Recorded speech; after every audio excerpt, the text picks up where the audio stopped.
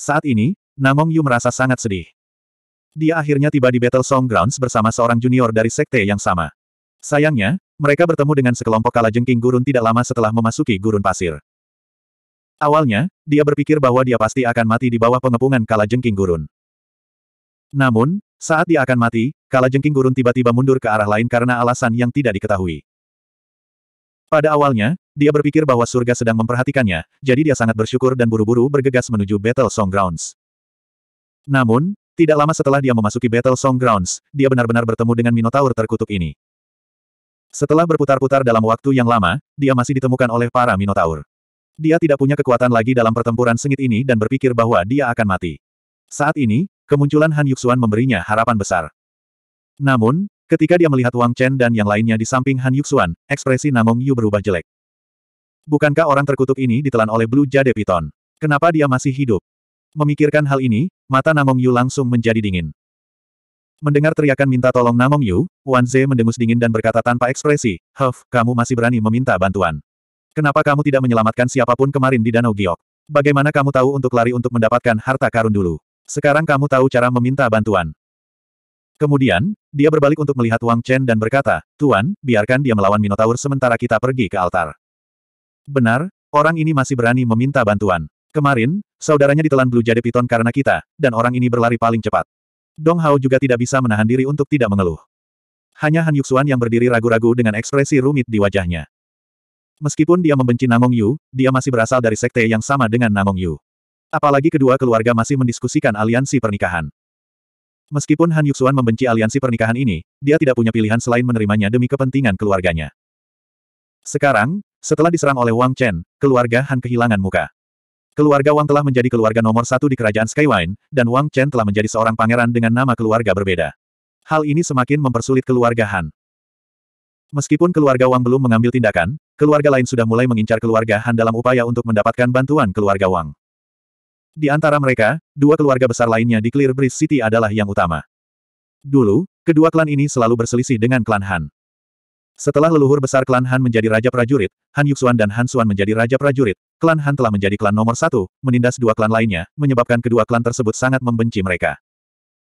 Kini, keluarga Han dan kedua keluarga ini sudah memiliki dendam yang mendalam terhadap satu sama lain.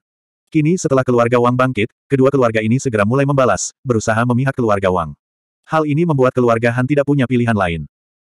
Sekarang Namong Yu ada di depan mereka, Han Yuxuan tidak bisa hanya berdiri dan menonton. Saudaraku, ayo pergi, abaikan tauren ini, Zhou Wei berkata dengan dingin. Kalian, Mendengar perkataan orang-orang ini, Namong Yu langsung menjadi cemas. Matanya dipenuhi dengan kebencian yang tak ada habisnya. Orang-orang sialan ini, beraninya mereka mengipasi api saat ini. Mata Namong Yu dingin saat dia mengingat Dong Hao dan Zhou Wei. Mereka berani memperlakukannya seperti ini. Jika dia bisa kabur dari tempat ini hari ini, dia pasti akan membuat kedua orang ini berdarah. Engah. Pengalihan perhatian sesaat menyebabkan luka lain muncul di tubuh Namong Yu. Seketika, Namong Yu menjerit dan menghirup udara dingin. Yuxuan, selamatkan aku. Aku tunanganmu. Selamatkan aku secepatnya, dan saat kita kembali, aku akan meminta keluarga Namong untuk mendukung klan Hanmu. Melihat Wang Chen dan yang lainnya tidak akan menyelamatkannya, Namong Yu berteriak cemas pada Han Yuxuan. Lalu, dia memandang Wang Chen. Meski matanya dipenuhi kengganan, dia tidak punya pilihan lain. Dia mengatupkan giginya dan berkata, Wang Chen, mari kita kesampingkan kebencian masa lalu kita untuk saat ini. Jika kamu menyelamatkanku, aku akan memberimu teknik bela diri tingkat bumi yang aku peroleh dari dasar Danau Giok. Bagaimana? Teknik bela diri tingkat bumi. Mendengar kata-kata Namong Yu, Wang Chen mengangkat alisnya dan menunjukkan ekspresi terkejut. Hidupmu hanya bernilai teknik bela diri tingkat bumi. Apalagi yang Anda peroleh dari Danau Giok. Saat berikutnya, Wang Chen berpikir sejenak dan menatap Namong Yu dengan senyum dingin. Dia tidak memiliki kesan yang baik terhadap orang ini. Dia telah mengincar keluarga Wang berkali-kali. Baru saja, dia tidak melakukan apa pun untuk menyelamatkan Namong Yu. Kebencian di antara keduanya begitu dalam hingga tidak bisa diselesaikan. Tentu saja, Wang Chen tidak ingin menyelamatkan Namong Yu karena teknik bela diri tingkat bumi. Mendengar kata-kata Wang Chen, ekspresi Namong Yu langsung berubah menjadi sangat jelek. Setelah mundur berulang kali, dia menarik napas dalam-dalam dan sepertinya telah mengambil keputusan. Selain teknik bela diri tingkat bumi, aku juga menemukan mutiara bumi di Danau Giok. Jika kamu bersedia membantuku, aku akan memberimu mutiara bumi. Mutiara bumi. Hai. Mendengar ini, Wang Chen tidak bisa menahan diri untuk tidak menghirup udara dingin. Pada saat yang sama, Wang Yan dan yang lainnya di samping Wang Chen tidak bisa menahan diri untuk tidak melebarkan mata mereka. Mutiara bumi sebenarnya adalah harta karun yang langka. Mutiara bumi dapat melipat gandakan kecepatan budidaya seorang kultivator. Memiliki mutiara bumi setara dengan memiliki ruang perbaikan tanpa batas. Mutiara bumi cocok untuk seniman bela diri raja, seniman bela diri kekaisaran, dan seniman bela diri agung. Untuk orang-orang seperti Wang Chen, itu sangat cocok. Saat itu, ketika Wang Chen berada di bawah alam bela diri kekaisaran, dia menerima mutiara manusia dari Zhang Hu. Kecepatan kultivasinya meningkat pesat. Kemudian, ketika dia mencapai alam bela diri kekaisaran, dia memberikannya kepada Kuang Ren. Meskipun Wang Chen selalu menginginkan mutiara bumi, bagaimana dia bisa melihat harta karun langka dengan begitu mudah? Itu adalah harta karun yang langka, sesuatu yang memiliki harga tetapi tidak memiliki pasar. Oleh karena itu, ketika dia mendengar tentang mutiara bumi, Wang Chen tidak bisa menahan diri untuk tidak menunjukkan sedikit pun kerinduan. Nak, bantu dia. Hehehe, sayang sekali jika tidak menyerahkan mutiara bumi. Bagaimanapun, aku hanya membantunya. Setelah membantunya mengusir ketiga Minotaur, sisanya adalah urusannya sendiri. Jika saya ingin dia mati, bukankah mudah? Saat Wang Chen sedang merenung, tawa jahat Lin San terdengar. Mendengar kata-kata Lin San, mata Wang Chen berbinar. Benar, cepat atau lambat dia harus menghadapi Minotaur ini. Bahkan jika Namong Yu mati sekarang, mereka masih harus menghadapi para Minotaur ini nanti. Tidak ada salahnya mengambil tindakan sekarang. Berpikir sampai titik ini, Wang Chen mengangguk, serahkan teknik bela diri tingkat bumi dan mutiara bumi terlebih dahulu. Anda. Mendengar perkataan Wang Chen, ekspresi Namong Yu langsung berubah jelek. Namun, situasinya genting. Jika mereka tidak bergerak sekarang, dia pasti akan mati. Berpikir sampai titik ini, ekspresi Namong Yu berubah jelek ketika dia buru-buru mengeluarkan gulungan kulit domba dan mutiara hitam transparan dari ruang penyimpanannya. Dengan ekspresi enggan, dia mengertakkan gigi dan melemparkannya ke arah Wang Chen. Menangkap mutiara manusia dan teknik bela diri tingkat bumi, Wang Chen memandang mereka dan sedikit senyuman muncul di wajahnya. Cepat bantu aku. Melihat Wang Chen tidak berencana untuk membantu tetapi menerima barang tersebut, Namong Yu berteriak dengan marah. Apa yang terburu-buru? Tidak bisakah kamu melihat bahwa tuanku sedang memeriksa apakah itu asli atau palsu? Bagaimana jika yang Anda berikan padanya palsu? Wan Ze mendengus dingin. Benar, kita masih harus membagi barang-barang ini. Jika tidak, jika kita tidak membagi hasil rampasan secara merata, kita tidak akan berminat untuk menyelamatkan orang. Dong Hao sepertinya memahami niat Wang Chen dan segera menyetujuinya. Dalam sekejap, semua orang menimpali satu demi satu. Hal ini membuat Namong Yu sangat marah hingga hampir muntah darah di tempat. Dia benar-benar menjadi gila. Saudaraku, hehe, kamu bisa menjaga mutiara bumi. Kalau bukan karena bantuanmu sebelumnya, entah sudah berapa kali kami mati. Kami tidak membutuhkan barang-barang ini. Teknik bela diri juga tidak cocok untuk kita. Dong Hao dan yang lainnya tidak peduli dengan kemarahan Namong Yu. Setelah melihat bahwa rangkaian teknik bela diri adalah teknik tinju, mereka berkata kepada Wang Chen. Teknik bela diri ini memang tidak cocok untuk mereka. Bahkan jika mereka memaksakan diri untuk mengolahnya, mereka tidak akan bisa mengeluarkan kekuatan penuhnya. Itu hanya akan membuang-buang energi mereka. Adapun mutiara bumi, meskipun mereka sangat menginginkannya, mereka tahu bahwa itu bukanlah sesuatu yang dapat mereka miliki. Namun, mereka juga tahu betul bahwa mutiara bumi bukanlah sesuatu yang bisa mereka miliki. Wang Chen juga membutuhkannya, agar mereka tidak bersaing dengan Wang Chen. Ini. Mendengar perkataan Dong Hao dan Zhou Wei, Wang Chen ragu-ragu sejenak. Hehe, saudaraku, jangan terlalu basa-basi. Mari kita lihat apa yang akan dilakukan anak itu. Zhou Wei tersenyum sinis. Mendengar kata-kata orang banyak, Wang Chen tidak mengelak. Memang benar, dia sangat menginginkan mutiara bumi. Ini akan sangat membantu dia. Adapun teknik bela diri, Wang Chen awalnya ingin memberikannya kepada kakak laki-lakinya, Wang Yan.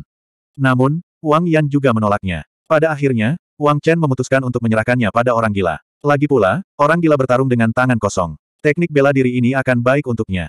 Terlebih lagi, itu adalah teknik yang ganas dan sombong, yang cocok untuk orang gila. Melihat Wang Chen dan yang lainnya masih berbicara, Namong Yu sangat marah sehingga dia berteriak, Bajingan, kamu. Kalian cepat serang. Aku sudah memberimu semua barangku. Mendengar seruan bantuan Namong Yu lagi, Wang Chen untuk sementara menyimpan mutiara bumi dan keterampilan bela diri di dadanya, lalu dengan teriakan ringan, esensi sejati di sekujur tubuhnya melonjak, mengembun menjadi senjata kekuatan asal, dan menyerang ke depan.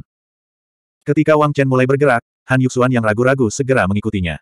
Dong Hao dan yang lainnya mengikuti.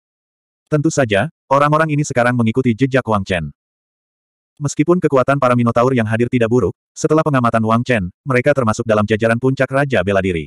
Tak satu pun dari mereka telah memasuki ranah Imperial Martialis. Oleh karena itu, setelah Wang Chen dan yang lainnya menyerang, mereka tidak perlu mengeluarkan banyak usaha. Dalam sekejap, mereka semua terbunuh.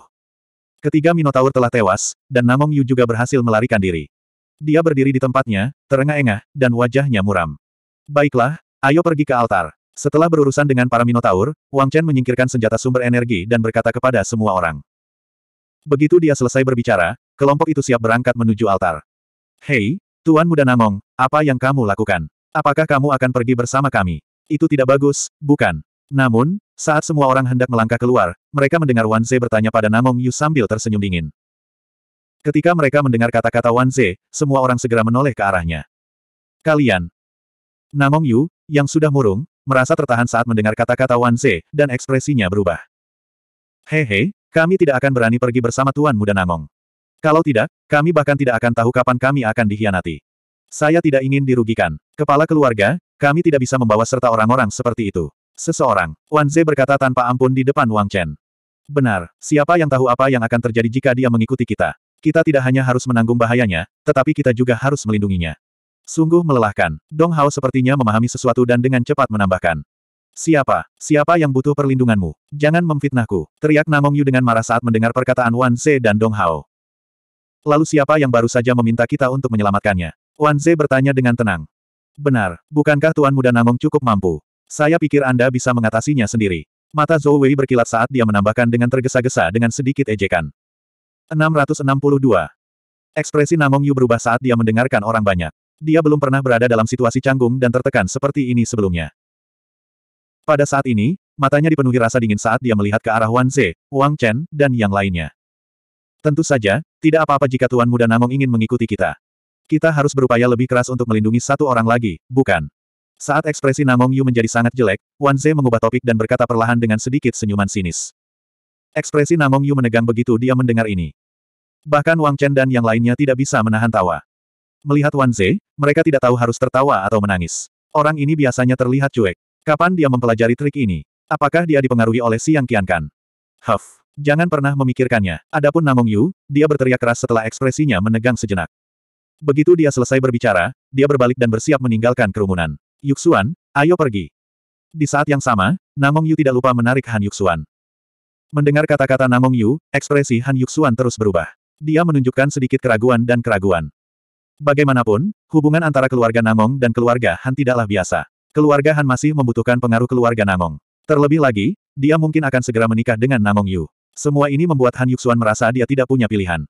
Nona Han, jangan pergi dengan orang seperti ini. Siapa yang tahu kapan dia akan menjualmu? Tidakkah kamu melihat bahwa dia mengabaikanmu dan langsung pergi? Jika Anda mengikutinya, entah berapa kali hal seperti itu akan terjadi. Menurutku orang seperti ini tidak bisa diandalkan. Keluargahan Anda ingin mencari bala bantuan yang kuat, tetapi Anda tidak perlu mencari orang seperti itu.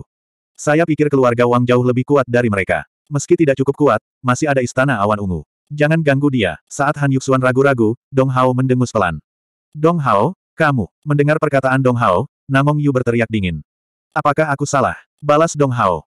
Sekarang, dia bisa dianggap sebagai tetua tamu keluarga Wang. Dia juga banyak mendengar tentang konflik antara keluarga Wang dan keluarga Namong. Karena dia adalah anggota keluarga Wang, dia tentu saja harus menyerang Namong Yu dengan sekuat tenaga. Saat ini, Dong Hao telah berintegrasi ke dalam sistem keluarga Wang. Kecepatan ini bahkan mengejutkan Wang Chen. Bagus sangat bagus. Dong Hao, Zhou Wei, Wan Ze, keluarga Wang, saya akan mengingat mereka. Huff, Yu Xuan, aku akan memberimu waktu tiga napas. Apakah Anda ingin pergi atau tinggal, itu terserah Anda. Sambil mendengus dingin, Namong Yu melambaikan tangannya dan menunggu dengan tenang. Kata-kata sombong dan kasar dari Namong Yu segera membuat Han Yuxuan mengerutkan kening. Setelah merenung sejenak, pandangan tegas muncul di matanya. Pergi. Saat ini, Han Yuxuan benar-benar patah hati. Namong Yu sebenarnya menggunakan nada seperti itu untuk berbicara dengannya. Ini membuat Han Yuxuan agak tidak bisa menerimanya. Lagi pula, sebagai nona muda dari keluarga Han, dia dimanjakan dan sebagai orang jenius nomor satu di kota Clear Breeze, dia bagaikan bulan yang dikelilingi bintang. Dia juga luar biasa di Istana Awan Ungu. Dalam waktu kurang dari empat tahun setelah memasuki sekte tersebut, dia telah menjadi pemimpin generasi muda. Selain itu, dengan tubuh indah, Han Yuxuan bahkan lebih terlindungi. Dia belum pernah diperlakukan seperti itu. Kesombongan di hatinya semakin besar dan wajahnya terhadap Namong Yu langsung berubah menjadi dingin. Bagus sangat bagus. Keluarga Han, Han Yuxuan, ingat ini. Mendengar bahwa Han Yuxuan juga memilih menjadi musuhnya saat ini, wajah Namong Yu menjadi gelap dan dia mencibir. Keluarga Han benar-benar kuat. Baiklah, saya ingin melihat apa lagi yang bisa terjadi jika Anda bersama Wang Chen ini. Dengan bingung, Namong Yu menjentikkan lengan bajunya dan berjalan ke depan dengan dingin. Ayo pergi. Melihat kepergian Namong Yu, Wang Chen berkata dengan acuh tak acuh. Begitu dia mengatakan itu, kelompok itu bergerak maju dengan cepat. Di bawah bimbingan peta, rombongan tidak memilih langsung menuju altar. Sejak orang-orang berkepala banteng muncul, jelas sekali bahwa negeri lagu pertempuran bukanlah tempat yang damai. Pasti ada binatang iblis atau orang berkepala banteng lain di sekitar. Mereka telah bertemu dengan piton air giok biru yang kuat di tepi danau giok. Bagaimana dengan di sini? Kelompok itu mau tidak mau harus waspada. Setelah berputar-putar selama setengah malam, kelompok itu akhirnya berhasil membunuh beberapa binatang iblis peringkat 6 dan tiba di inti Battle Song Grounds, Battle Song Altar. Di sana di sana. Saat mereka mendekati altar, mereka mendengar serangkaian lenguhan bernada rendah. Orang-orang berkepala banteng. Mendengar suaranya, beberapa orang yang bersembunyi di kegelapan melihat ke depan. Ketika mereka melihat sekelompok sosok hitam di depan altar, mereka tidak bisa menahan diri untuk tidak terkesiap dan berkata dengan suara rendah. Benar sekali, ada orang-orang berkepala banteng di depan mereka. Jumlahnya hampir seratus. Ratusan orang berkepala banteng ini membentuk lingkaran dan menyalakan api unggun. Mereka terus melenguh seolah sedang berdoa pada bulan. Dan di tengah-tengah orang-orang berkepala banteng ini ada sebuah altar yang luasnya hampir 100 meter persegi. Altar itu tingginya lebih dari 10 meter dan berlapis-lapis. Itu tampak seperti piramida. Di bagian atas terdapat ruang kosong berukuran sekitar 2 hingga 3 meter persegi. Sebuah meja batu diletakkan di atasnya. Di atas meja batu, bola cahaya biru mengalir perlahan dan memancarkan cahaya yang memesona. Di bawah sinar bulan, bola cahaya ini bahkan lebih jahat dan mempesona. Cahaya bulan yang tak berujung sepertinya tertarik oleh bola cahaya biru ini. Itu membentuk pilar cahaya yang menghubungkan langit dan bumi, menyelimuti seluruh bola cahaya biru. Harta karun. Melihat ini, Wang Chen dan yang lainnya tahu apa yang ditempatkan di altar. Itu adalah item yang ingin mereka cari di Land of Battle Songs. Di sana di sana. Serangkaian lenguhan bernada rendah dan bernada tinggi kembali terdengar. Seseorang berkepala banteng setinggi dua hingga tiga kaki dan tampak seperti raksasa sedang menari dan melompat mengelilingi altar. Orang berkepala banteng ini berpakaian aneh. Dia memegang garpu besar dan melambaikannya dengan ekspresi sales seolah-olah dia sedang memohon sesuatu pada surga. Raja Iblis Banteng, sambil mengerucutkan bibirnya, Wang Chen tidak bisa tidak memikirkan istilah yang aneh dan lucu. Itu benar. Orang berkepala banteng ini ibarat burung bangau di antara kawanan ayam di antara kelompok orang berkepala banteng ini. Gelar Raja Iblis Banteng sangat cocok untuk itu. Kekuatan binatang iblis peringkat tujuh. Setelah menarik napas dalam-dalam, Wang Chen berkata kepada Wang Yan dan yang lainnya setelah merasakan aura Raja Iblis Banteng. Mem, peringkat tujuh. Wang Yan juga berkata dengan suara rendah. Orang berkepala banteng ini sebenarnya memiliki kekuatan binatang iblis peringkat tujuh. Hal ini membuat semua orang merasa malu. Jika dikatakan bahwa Blue Jade Water Python adalah monster peringkat kuasi ketujuh, maka ketika bertarung di darat, itu hanyalah monster peringkat keenam sejati di puncak peringkat keenam. Namun, Minotaur di depannya adalah monster peringkat ketujuh yang sebenarnya. Perbedaan keduanya seperti langit dan bumi. Piton air giok biru sama sekali tidak bisa dibandingkan dengan orang berkepala banteng ini. Mereka tidak menyangka binatang iblis yang begitu menakutkan bersembunyi di sini. Saat memikirkan hal ini, Wang Chen dan yang lainnya memasang ekspresi pahit di wajah mereka. Binatang iblis peringkat tujuh, ditambah dengan pertahanan dominan dari orang-orang berkepala banteng ini, membuat semua orang merasa putus asa. Ini bukanlah sesuatu yang bisa mereka tandingi hingga saat ini. Oh, oh, oh, oh. Saat Wang Chen dan yang lainnya mengerang dalam hati, terompet yang merdu dan sunyi terdengar. Klakson itu merobek malam dan bergema di langit. Pada saat ini, ada orang berkepala banteng yang tingginya sekitar 10 kaki ke segala arah. Masing-masing memegang trompet sepanjang satu meter di tangannya dan meniupnya terus-menerus. Sepuluh kaki, tingginya tiga meter. Minotaur ini jelas merupakan orang yang paling tinggi selain Raja Iblis Banteng Raksasa. Kekuatan mereka telah mencapai monster iblis peringkat enam. Di tengah bunyi klakson, langit dan bumi seakan menjadi satu, dan udara dipenuhi aura primordial. Di sana di sana. Setelah bunyi klakson, hampir seratus orang berkepala banteng di sekitarnya mulai mengeluarkan erangan pelan. Pada saat yang sama, mereka berlutut ke arah altar dan berdoa. Kekuatan orang-orang berkepala banteng ini rata-rata. Mereka adalah monster iblis peringkat 5, dan beberapa dari mereka bahkan merupakan monster iblis peringkat 5 SD. Jelas sekali, ada perbedaan kekuatan yang jelas di antara orang-orang berkepala banteng ini. Melihat semua ini, Wang Chen dan yang lainnya semakin mengerang. Binatang iblis peringkat 7, 8 binatang iblis peringkat 6, dan hampir 100 binatang iblis peringkat 5. Ini bukanlah sesuatu yang bisa mereka lawan. Jika mereka keluar dengan gegabah, mereka hanya akan menunggu kematian. Melihat benda biru mempesona di altar, mereka bertanya-tanya apakah mereka benar-benar harus menyerah. Ini jelas bukan sesuatu yang ingin mereka lakukan. Setelah melalui begitu banyak kesulitan dan menerobos ribuan rintangan dan bahaya untuk mencapai tempat ini, bagaimana mereka bisa rela kembali dengan tangan kosong?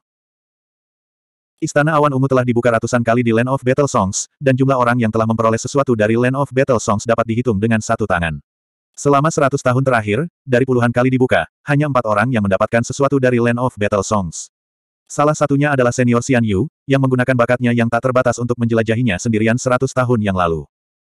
30 tahun yang lalu, senior Dongfang Niu Hao, guruku, Pangeran Lu, dan pemimpin sekolah Xingchen saat ini, senior Tai Yun Song, bekerja sama untuk mendapatkan sesuatu. Selama 100 tahun terakhir, hanya sedikit yang berhasil. Melihat ekspresi pahit di wajah Wang Chen dan yang lainnya, Han Yuxuan tersenyum pahit dan menghela nafas. Mendengar desahan Han Yuxuan, Wang Chen dan yang lainnya tidak bisa menahan diri untuk tidak melebarkan mata mereka. Selama seratus tahun terakhir, hanya empat orang yang mendapatkan hadiah memasuki negeri lagu pertempuran. Apalagi bisa dikatakan dari puluhan kali istana awan ungu dibuka, hanya dua orang yang berhasil. Tidak ada keraguan bahwa Penatuasian Yu adalah pejuang terkuat di perbatasan utara. Kemampuannya tak terduga, dan dia telah memimpin fraksi api mengamuk ke faksi teratas di perbatasan utara.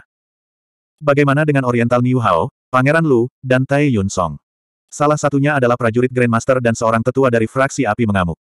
Yang lainnya adalah seorang tetua dari Istana Awan Ungu, seorang prajurit kekaisaran sempurna yang bahkan bisa disebut sebagai kandidat Grandmaster. Yang terakhir adalah Tai Yun Song, pemimpin sekolah Chen saat ini. Kemampuannya tidak terduga, dan tidak ada yang tahu level apa yang telah dia capai. Mereka bertiga adalah tokoh terkenal, namun fakta bahwa mereka bertiga telah bekerja sama untuk mendapatkan warisan tanah lagu pertempuran sungguh sulit dipercaya.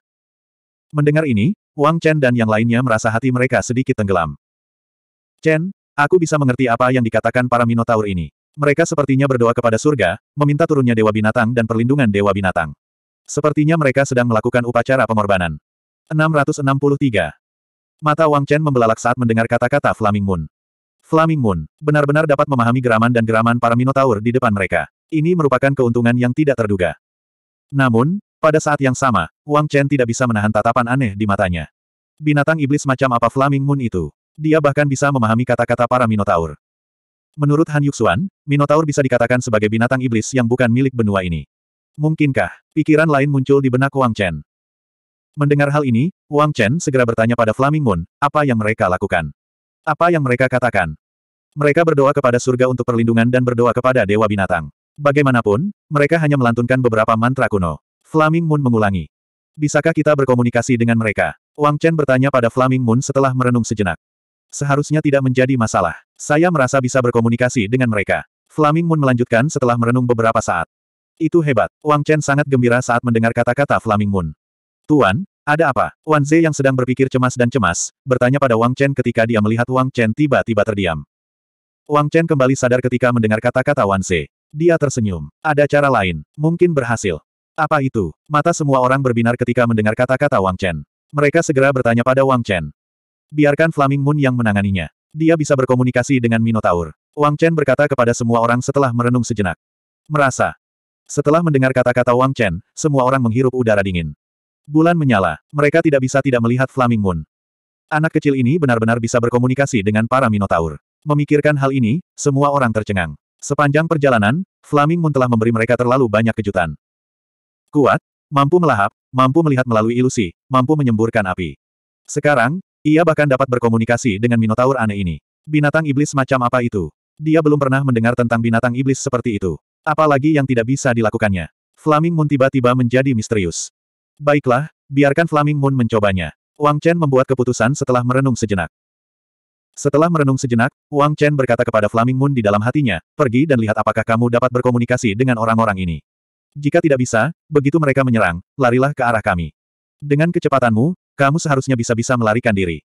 Dia siap menghadapi kedua kemungkinan tersebut. Akan lebih baik jika mereka bisa berkomunikasi dan rukun satu sama lain. Jika tidak, mereka hanya bisa memilih untuk melarikan diri. Dengan kecepatan Flaming Moon, hanya Raja Iblis Banteng yang bisa mengejar mereka. Namun, Raja Iblis Banteng jelas merupakan orang inti yang bertanggung jawab atas upacara peringatan tersebut. Tidak mungkin dia mengejar Flaming Moon. Oleh karena itu, seharusnya tidak ada banyak bahaya. Chen, jangan khawatir. Aku pasti akan membantumu mendapatkan benda itu. Hehe, mendengar perkataan Wang Chen, Flaming Moon tertawa keras. Tentu saja senang bisa melakukan sesuatu untuk Wang Chen. Tentu saja, ada alasan lain mengapa hal itu begitu heboh. Itu karena, untuk beberapa alasan yang tidak diketahui, mendengarkan nyanyian para Minotaur dan raungan yang tampak berantakan namun berirama, Flaming Moon merasakan darahnya mendidih. Rasanya sangat nyaman. Setelah menarik napas dalam-dalam dan merenung sejenak, Wang Chen berkata kepada semua orang dengan suara yang dalam, bersiaplah. Begitu negosiasi Flaming Moon gagal, kita harus melarikan diri. Menghadapi binatang iblis peringkat tujuh, Raja Iblis Banteng, mereka tidak memiliki kemampuan bertarung sama sekali. Satu-satunya hal yang bisa mereka lakukan adalah melarikan diri. Baiklah, kami mengerti. Mendengar kata-kata Wang Chen, Wan Ze dan yang lainnya menjawab dengan sungguh-sungguh. Tentu saja, mereka tahu bahwa satu-satunya pilihan mereka sekarang adalah membiarkan Flaming Moon mencobanya. Itu lebih baik daripada duduk diam dan menunggu kematian. Jika memang tidak berhasil, mereka bisa pergi begitu saja. Datang ke sini dan mendapatkan Heaven Jade sudah merupakan keuntungan besar. Bahkan jika mereka pergi sekarang, mereka tidak akan menderita kerugian. Itu lebih baik daripada tidak melakukan apa pun. Mengaum. Saat semua orang sudah siap, Flaming Moon mengeluarkan raungan lembut dan sosok ungunya berlari menuju altar seperti aliran cahaya. Dalam sekejap mata, ia bergegas menuju altar. Momo. Melihat hal tersebut, para Minotaur yang sedang melakukan upacara peringatan tercengang. Kemudian, mereka mengaum dengan marah. Bagi mereka, jelas ada seseorang yang menyerbu dan mengganggu upacara peringatan mereka. Terutama Raja Iblis Banteng. Auranya meledak seketika dan aura pembunuh pun lahir. Auman auman auman. Namun, setelah naik ke altar, entah kenapa, Flaming Moon mengeluarkan raungan marah, tidak mau menunjukkan kelemahan apa pun. Dengan suara gemuruh, cahaya bulan di langit mengembun menjadi pilar dan melesat menuju Flaming Moon. Bermandikan sinar bulan, bulu ungu di tubuh Flaming Moon tampak lebih megah dan memiliki aura setan. Selangkah demi selangkah, ia perlahan berjalan menuju altar. Matanya memancarkan cahaya iblis yang menakutkan. Kemudian, bola api ungu mulai membakar sekujur tubuhnya. Itu menutupi seluruh tubuh Flaming Moon seperti baju besi. Di titik tertinggi altar, Flaming Moon mengeluarkan raungan marah. Raungannya menyebabkan angin dan awan berubah. Cahaya bulan yang tak berujung menyelimutinya. Bahaya, melihat ini, Wang Chen panik dan hendak bergegas keluar. Beraninya Flaming Moon memprovokasi mereka dengan masuk. Bukankah itu berarti kematian? Upacara pengorbanan para Minotaur ini terlihat sangat megah dan formal. Tindakan Flaming Moon yang merusak upacara dan naik ke panggung adalah sebuah provokasi yang terang-terangan. Ini tidak bisa dimaafkan. Seolah-olah seorang pria dan seorang wanita sedang melakukan sesuatu yang sakral. Saat mereka sedang menghasilkan keturunan, Flaming Moon tiba-tiba menelanjangi dan mengusir pria itu. Lalu, dia naik ke tubuh wanita itu. Ini tidak bisa dimaafkan. Wang Chen terkejut. Tidak hanya Wang Chen, bahkan Wang Yan dan yang lainnya pun tampak khawatir. Mereka terkejut. Mengapa Flaming Moon berubah seperti itu? Mengapa cahaya bulan menyelimutinya? Tiba-tiba, semua orang memandang Flaming Moon dengan rasa ingin tahu. Pada akhirnya, mereka hanya bisa sampai pada suatu kesimpulan. Ini adalah hal yang aneh tentang altar. Setelah doa Tauren, mereka menggunakan metode khusus untuk memusatkan cahaya bulan di altar. Itu sebabnya Flaming Moon bersikap seperti itu. Semua orang siap bergegas menyelamatkan Flaming Moon. Namun, dalam situasi genting dan tampaknya tidak bisa dimaafkan ini, saat Wang Chen dan yang lainnya hendak bergegas keluar, Flaming Moon berdiri dengan bangga. Saat berikutnya, situasinya berubah. Para Tauren yang marah, termasuk Raja Iblis Banteng, berhenti mengaum ketika mereka melihat Flaming Moon dan api di tubuh Flaming Moon. Kemudian, mereka meraung kegirangan. Wow wow wow wow. Suara klakson jauh lebih keras dari sebelumnya. Semua tauren berlutut. Itu adalah pemandangan yang spektakuler. Flaming Moon dipuja oleh semua tauren. Bahkan Raja Iblis Banteng pun melakukan hal yang sama. Dia berlutut di tanah dengan taat. Kemudian, semua tauren sujud di tanah dengan tangan terangkat tinggi. Mereka menyembah dan mengaum serempak. Apa yang sedang terjadi? Ya Tuhan, mereka memuja Flaming Moon. Pada saat ini, orang-orang yang sebelumnya khawatir semuanya terkejut setelah melihat pemandangan ini. Mereka saling memandang dengan kaget dan tidak percaya. Auman auman auman. Menghadapi pemujaan para Tauren, Flaming Moon mengeluarkan raungan keras yang mengguncang langit dan bumi. Cahaya bulan yang terkondensasi dari langit dan bumi terus-menerus memperkuat tubuh Flaming Moon dan kemudian dimakan dan diserap olehnya. Gemuruh.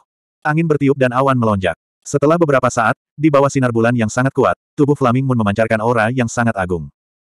Itu adalah aura agung yang datang dari langit, dari kekacauan primordial. Itu mendominasi, kejam, dingin. Aura ini menyebabkan Wang Chen dan yang lainnya yang berada jauh gemetar ketakutan. Ledakan. Dengan bantuan energi cahaya bulan dan ledakan energi dari melahap ribuan jiwa dan inti iblis kala jengking beracun gurun, aura Flaming Moon melonjak. Itu menembus barisan monster tingkat menengah dalam sekejap. Ini pertama kalinya Flaming Moon tidak perlu hibernasi dan langsung menerobos dengan bantuan energi.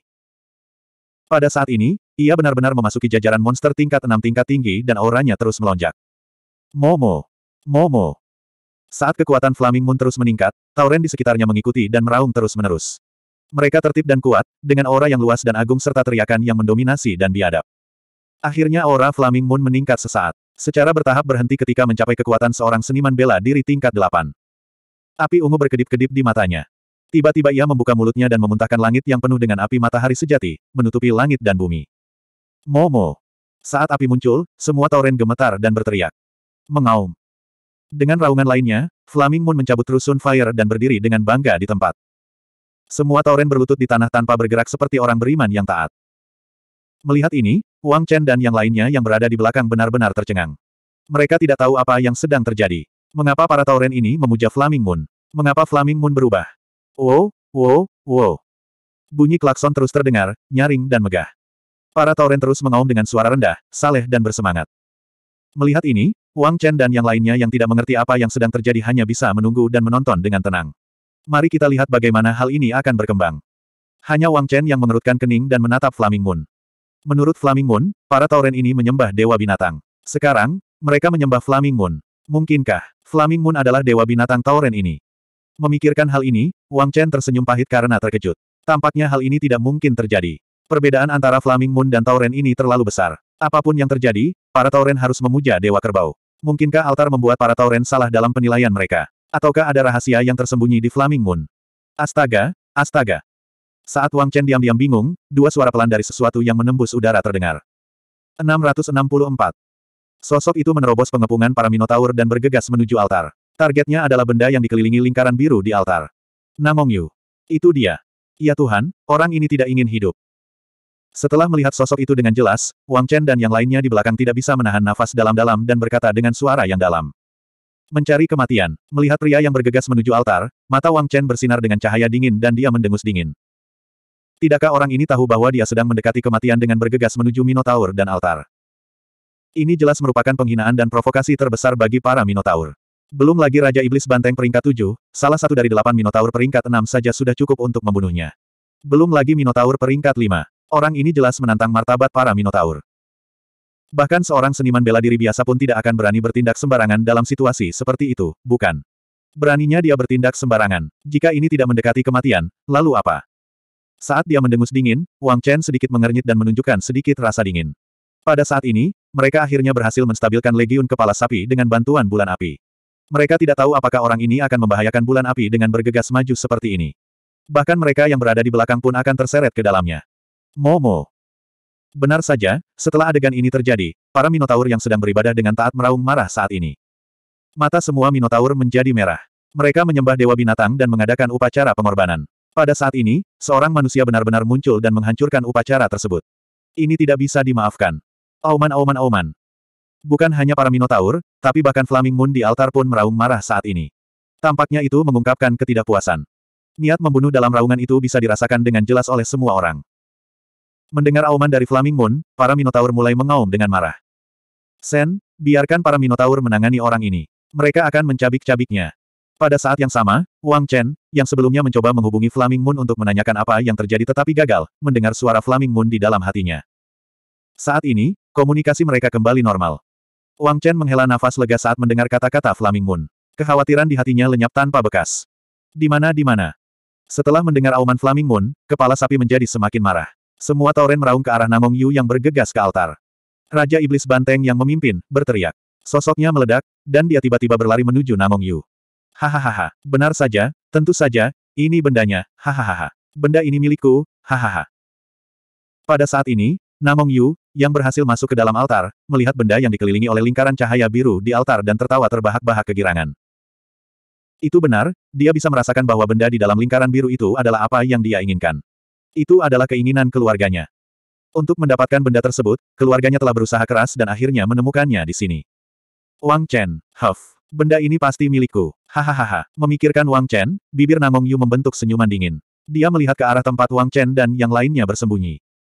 Bagaimana mungkin dia tidak tahu bahwa Wang Chen dan yang lainnya telah datang ke tempat ini? Bagaimana mungkin dia tidak tahu bahwa monster di altar itu adalah Flaming Moon? Namun, semua ini tidak menjadi masalah lagi. Tidak peduli trik apa pun yang dilakukan Wang Chen, tidak peduli kemampuan apa yang dimiliki Flaming Moon, itu tidak menjadi masalah lagi. Selama dia mendapatkan apa yang diinginkannya dan meninggalkan Istana Awan Ungu, itu akan menjadi akhir dari sekolah Xing Chen dan keluarga Wang ketika dia kembali. Di saat yang sama, merasakan Raja Iblis Banteng mengejarnya, jejak rasa jijik muncul di matanya. Huff, monster tingkat ketujuh. Sepertinya sudah waktunya untuk menggunakan benda itu. Memikirkan hal ini, Namong Yu berteriak dengan lembut dan menyakitkan mengeluarkan sepotong batu giok putih dari ruang penyimpanannya. Pertahanan mutlak. Dengan teriakan marah, dia tiba-tiba menghancurkan potongan batu giok putih itu. Dalam sekejap, energi agung terpancar, membentuk lingkaran cahaya mengkilap di sekitar Namong Yu. Pertahanan mutlak. Keluarga Namong benar-benar memberinya pertahanan mutlak. Melihat ini, Wang Chen dan yang lainnya, yang menonton dengan dingin dari pinggir lapangan, terkejut. Jelas sekali, mereka tidak menyangka orang ini mempunyai tipuan seperti itu. Pada saat yang sama, mereka diam-diam takjub. Keluarga Namong memang merupakan keluarga besar dengan warisan ribuan tahun. Mereka sebenarnya mempunyai pertahanan absolut yang kuat. Berdasarkan kekuatan lingkaran cahaya mengkilap, itu seharusnya merupakan pertahanan tingkat menengah. Ia bisa bertahan melawan semua serangan dari prajurit di bawah level Martial Saint. Pertahanan tiga kali. Wang Chen sangat akrab dengan hal ini. Ini karena dia telah menerima pertahanan absolut dasar dari tetua kedua. Pertahanan mutlak pemula itu pernah menyelamatkannya satu kali. Itu memungkinkan dia mendapatkan bunga roh darah dan melarikan diri dari wanita misterius itu. Sekarang, pertahanan absolut yang digunakan Namong Yu adalah pertahanan tingkat menengah. Dia tidak menyangka Namong Yu akan begitu sabar. Entah saat semua orang berada dalam bahaya di Danau Giok atau saat dia tiba di area inti Battle Songland, dia tidak menggunakan pertahanan mutlak sama sekali. Jelas sekali, dia sedang menunggu. Menunggu kesempatan yang paling cocok, menunggu kesempatan untuk merebut harta karun di Battle Songland. Memikirkan hal ini, wajah Wang Chen menjadi suram. Flaming Moon, hentikan dia. Melihat orang ini hendak mencapai puncak altar, Wang Chen berteriak dengan suara rendah. Tentu saja, Wang Chen tidak bisa membiarkan Namong Yu berhasil. Mengaum. Mendengar kata-kata Wang Chen, Flaming Moon meraung marah. Saat berikutnya, melihat ke arah Namong Yu yang sedang menyerangnya, cahaya ungu melintas di matanya dan dia tiba-tiba bergegas ke arahnya. Huff, Makhluk jahat, beraninya kamu menghentikanku. Melihat Flaming Moon yang sedang mengisi daya, mata Namong Yu menjadi dingin. Bagaimana mungkin dia tidak tahu bahwa ini adalah binatang buas Wang Chen? Meskipun dia bingung mengapa Flaming Moon muncul di altar dan tidak diserang, dia tidak punya waktu untuk berpikir terlalu banyak saat ini. Di belakangnya, Raja Iblis Banteng sedang menyerangnya. Karena pertahanan absolut telah digunakan sekali di gurun, dia hanya punya dua peluang tersisa. Dia harus mendapatkan barang itu dan melarikan diri dari tempat ini sebelum itu terjadi. Memikirkan hal ini, dia menghancurkan telapak tangannya ke arah Flaming Moon dan menghancurkan jimat giok di tangannya. Saat jimat giok ini dihancurkan, energi agung langsung berkumpul menuju Namong Yu. Dalam sekejap mata, tubuhnya menjadi sedikit redup. Jimat pengembalian kota.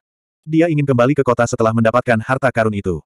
Kita tidak bisa membiarkan dia berhasil. Saudaraku, ayo pergi. Kita harus menghentikannya. Benda ini tidak boleh jatuh ke tangannya. Melihat jimat giok hancur di tangan Namong Yu, Dong Hao dan yang lainnya langsung berteriak. Ini adalah jimat pengembalian kota yang diberikan kepada mereka oleh Istana Langit Ungu. Setelah jimat giok ini dihancurkan, ia dapat mengumpulkan cukup energi dalam satu menit untuk beresonansi dengan formasi di luar Istana Langit Ungu. Dari sana, mereka bisa langsung meninggalkan Istana Langit Ungu dan kembali ke dunia luar. Dalam situasi berbahaya, jimat pengembalian kota ini tidak akan memberikan efek sedikit pun dalam satu menit. Namun, pada saat ini, ditambah dengan pertahanan absolut, Namong Yu memenuhi syarat untuk mencabut gigi dari mulut harimau. Mendengar kata-kata semua orang, mata Wang Chen menjadi dingin. Setelah merenung sejenak, dia berteriak, pergi. Dia benar-benar tidak bisa membiarkan Namong Yu berhasil. Itu sudah pasti. Memikirkan hal ini, Wang Chen tidak punya pilihan selain mengambil risiko. Bang, bang, bang. Pada saat yang sama ketika Wang Chen dan yang lainnya bergegas keluar, Namong Yu telah bertabrakan dengan Flaming Moon. Suara renyahnya terdengar di langit seperti bunyi bel. Mengandalkan pertahanan absolut, sosok Namong Yu hanya berhenti sejenak sebelum tiga serangan telapak tangan berturut-turut mendarat di tubuh Flaming Moon. Di tengah suara pemboman yang membosankan, sosok Flaming Moon terlempar. Dengan pertahanan mutlak, Namong Yu menggunakan metode bertarung dengan nyawanya. Yang dia butuhkan adalah mencapai puncak altar secepat mungkin dan mendapatkan item itu. Di belakangnya, Raja Iblis Banteng sudah menyusul dan dia tidak punya banyak waktu untuk melibatkan diri. Selama dia mendapatkan item itu, lalu bagaimana jika dia kehilangan pertahanan absolut? Melihat benda itu, mata Namong Yu dipenuhi dengan fanatisme. Momo. Raungan marah terdengar. Melihat manusia terkutuk ini berani melawan dewa binatang mereka, Raja Iblis Banteng meraung dengan ganas. Sambil meraung, dalam sekejap mata, dia bergegas ke depan Namong Yu dan menusukkan garpu tajam ke arah Namong Yu. Ding, ding, ding. Saat Namong Yu mencapai puncak altar, garpu Raja Iblis Banteng menusuk ke arah Namong Yu. Huff, makhluk jahat, beraninya kamu. Enyahlah. Namong Yu memblokir serangan itu. Dalam sekejap, Perisai kaca, yang semula hanya tersisa dua kali lagi menggunakan pertahanan mutlak, hancur. Namong Yu mengeluarkan benda hitam dan melemparkannya ke Raja Iblis Banteng. Gemuruh. Langit berguncang dan bumi berguncang. Saat manik itu dilemparkan ke arah Raja Iblis Banteng, manik itu meledak. Guntur gempa langit. Sial, dari mana orang ini mendapatkan begitu banyak barang bagus? Itu pasti ulah keluarga Namong. Pertahanan absolut, guntur gempa langit, keduanya bersama-sama. Namong Yu bahkan tidak akan takut pada prajurit sekte. Sepertinya mereka telah melakukan banyak persiapan untuk item ini di Warsongland. Di tengah suara gemuruh, asap tebal mengepul, dan tangisan samar Raja Iblis Banteng terdengar. Pada saat berikutnya, tubuh besar Raja Iblis Banteng terlempar. Sky Quick Thunder adalah eksistensi yang sangat kuat. Itu adalah keberadaan yang sangat berharga. Tidaklah berlebihan untuk mengatakan bahwa satu Sky Quick Thunder dapat membunuh seorang prajurit sekte. Barang ini milik daratan tengah dan sangat langka di perbatasan utara. Bahkan di daratan tengah, hanya sedikit orang yang memilikinya. Itu adalah barang yang sangat bagus untuk pertahanan diri. Kekuatan benda semacam itu berada di luar imajinasi orang biasa. Jika bukan karena pertahanan Raja Iblis Banteng yang kuat, Sky Quick Thunder yang tiba-tiba itu sudah cukup untuk membunuhnya. Huff, kamu melebih-lebihkan dirimu sendiri. Setelah mengirim Raja Iblis Banteng terbang dengan Sky Quick Thunder, bibir Namong Yu membentuk senyuman dingin. Sosoknya bersinar, dan dalam sekejap mata, dia muncul di atas altar. Melihat benda di dalam lingkaran cahaya biru, pandangan fanatik muncul di matanya. 665. Saat ini, tidak ada hambatan di depannya. Ice Spirit Divine Jade dan Dark Nether Water berada tepat di depan Namong Yu. Selama Namong Yu mengulurkan tangannya, dia akan bisa mendapatkan dua harta karun ini. Dia sudah bisa melihat manfaat yang akan dia peroleh jika dia membawa kedua barang tersebut kembali ke keluarganya. Memikirkan hal ini, dia tidak sabar untuk mengambilnya. Mengaum. Namun, saat Namong Yu hendak menyerang, suara gemuruh terdengar. Yan Yue, yang telah dipaksa kembali olehnya sebelumnya, telah menggunakan beberapa metode yang tidak diketahui untuk muncul di hadapannya. Kemudian, cahaya putih menyala dan hembusan api matahari sejati menyembur ke arahnya. Us. Dengan suara siulan, api matahari sejati menyelimuti Namong Yu. Bestart, beraninya kamu menghalangiku. Melihat ini, Namong Yu sangat marah. Harta karun itu akan segera berada di tangannya, tetapi Flaming Moon telah keluar untuk menghalangi kesempatannya mendapatkan harta karun itu. Ini benar-benar tidak bisa diterima. Ding! Di bawah pembakaran api matahari yang sejati, kekuatan pertahanan terakhir dari pertahanan absolut tidak berhasil. Di tengah suara retakan yang tajam, penghalang pertahanan absolut yang menyelimutinya hancur berkeping-keping seolah padat, menyebar ke dalam ketiadaan. B. Asteris Jingan dengan raungan marah, Namong Yu hanya bisa memilih mundur untuk menghindari api matahari sejati. Pertahanan absolut telah retak begitu saja. Hal ini membuat Namong Yu marah dan tertekan. Di mana? Di belakangnya, para Tauren telah mengambil kesempatan untuk menyerang. Raja Iblis Banteng berlumuran darah saat dia meraung dan menerkam. Bestart, kamu meminta kematian. Melihat Flaming Moon menghalangi jalannya, kilatan kejam melintas di mata Namong Yu. Dia mengulurkan tangannya dan mengeluarkan Sky Tremor Bomb terakhir dari ruang penyimpanannya. Dalam sekejap mata, dia hendak melemparkannya ke Flaming Moon. Dengan harta karun di depannya, bagaimana dia bisa membiarkan orang lain menghentikannya? Bagaimana dia bisa membiarkan Wang Chen menyentuhnya? Bagaimana mungkin Namong Yu tidak mengetahui mengapa Flaming Moon muncul di sini? Jelas sekali, Wang Chen lah yang menginginkan hal-hal ini. Ini adalah sesuatu yang tidak diizinkan oleh Namong Yu. Pada saat ini, dalam kemarahannya, Namong Yu bahkan lupa memikirkan mengapa Flaming Moon muncul di sini dan mengapa para Tauren memuja Flaming Moon. Beraninya kamu. Tepat ketika Namong Yu hendak membuang bom tremor langit terakhir yang bisa menyelamatkan nyawanya, Wang Chen, yang bergegas ke arahnya dengan kecepatan penuh, berteriak keras dengan tatapan dingin di matanya. Dia secara pribadi telah merasakan kekuatan bom tremor langit. Jika dia melemparkannya ke Flaming Moon, apa yang akan terjadi? Mendengar raungan Wang Chen, Namong Yu menatap Flaming Moon dengan tatapan mematikan di matanya. Huff, kenapa aku tidak berani? Matilah, Bestart. Dengan mengangkat tangannya, Sky Tremor Bomb terbang menuju Flaming Moon dalam sinar cahaya hitam pekat. Mengaum. Merasakan Sky Tremor Thunder terbang ke arahnya, Flaming Moon bukanlah orang bodoh. Tentu saja, dia tidak akan memblokirnya secara langsung. Itu jelas telah melihat kekuatan Sky Tremor Thunder. Melihat pemandangan ini, suara gemuruh bergema di udara, dan pada saat berikutnya, pemandangan aneh terjadi. Saat Flaming Moon meraung dengan marah, cahaya bulan yang tak berujung berkumpul dan berubah menjadi pilar cahaya yang menghubungkan langit dan bumi. Dalam sekejap mata, ia menyelimuti Flaming Moon seolah-olah itu adalah benda padat. Gemuruh. Gemuruh keras terdengar, dan saat berikutnya, Sky Tremor Thunder meledak. Namun, hal itu tidak melukai Flaming Moon seperti yang diharapkan semua orang. Sebaliknya, semua kekuatannya dihalangi oleh pilar cahaya bulan. Pada saat yang sama, Flaming Moon memuntahkan Trusun Fire dari mulutnya, menyebarkan sisa kekuatan Sky Tremor Thunder. Sky Tremor Thunder yang menakutkan sepertinya bisa dihilangkan kapan saja, dan itu tidak melukai Flaming Moon sama sekali. Hal ini menyebabkan semua orang membelalak tak percaya. Di belakang mereka, Wang Chen yang khawatir dan marah saat melihat Sky Tremor Bomb dilempar, menghela nafas lega saat melihat ini. Pada akhirnya, dia mengungkapkan senyuman. Tidak mungkin, bagaimana mungkin? Makhluk jahat, bagaimana mungkin? Wajah Namong Yu dipenuhi ketakutan saat dia berteriak tak percaya. Tidak ada yang mengetahui kekuatan Sky Tremor Thunder lebih baik darinya. Keluarga Namong telah membayar mahal untuk membelinya dari lelang di daratan tengah untuk perjalanan ke Istana Awan Ungu ini. Itu untuk menghadapi situasi seperti itu, dan untuk mendapatkan Ice Soul Divine Jade dan air Suanming. Namun, sekarang, Sky Tremor Thunder sama sekali tidak melukai Flaming Moon. Flaming Moon masih menghalangi jalannya. Di balik Flaming Moon terdapat Ice Soul Divine Jade dan air Suanming yang dia inginkan. Namun, dengan Flaming Moon menghalangi jalannya, itu seperti gunung yang tinggi, dan Namong Yu merasa sulit untuk menyeberang. Dia telah mendengar tentang kekuatan Flaming Moon dan melihatnya sendiri. Dia tahu bahwa jika mereka bertarung, dia tidak akan bisa menandingi Flaming Moon sama sekali. Terlebih lagi, para Minotaur sedang mengejarnya, dan dalam sekejap mata, mereka sudah berada tepat di depannya. Di sisi lain, Wang Chen dan yang lainnya sudah menyerbu ke arahnya. Jika dia dikelilingi oleh orang-orang ini, dia pasti akan mati. Memikirkan hal ini, wajah Namong Yu dipenuhi kebencian. Semua ini karena Wang Chen dan keluarga Wang. Keluarga Wang sialan ini, Wang Chen sialan ini. Jika bukan karena mereka, dia pasti berhasil. Benar, dia pasti berhasil. Dengan kombinasi pertahanan absolut dan guntur tremor langit, benda-benda ini pasti menjadi miliknya.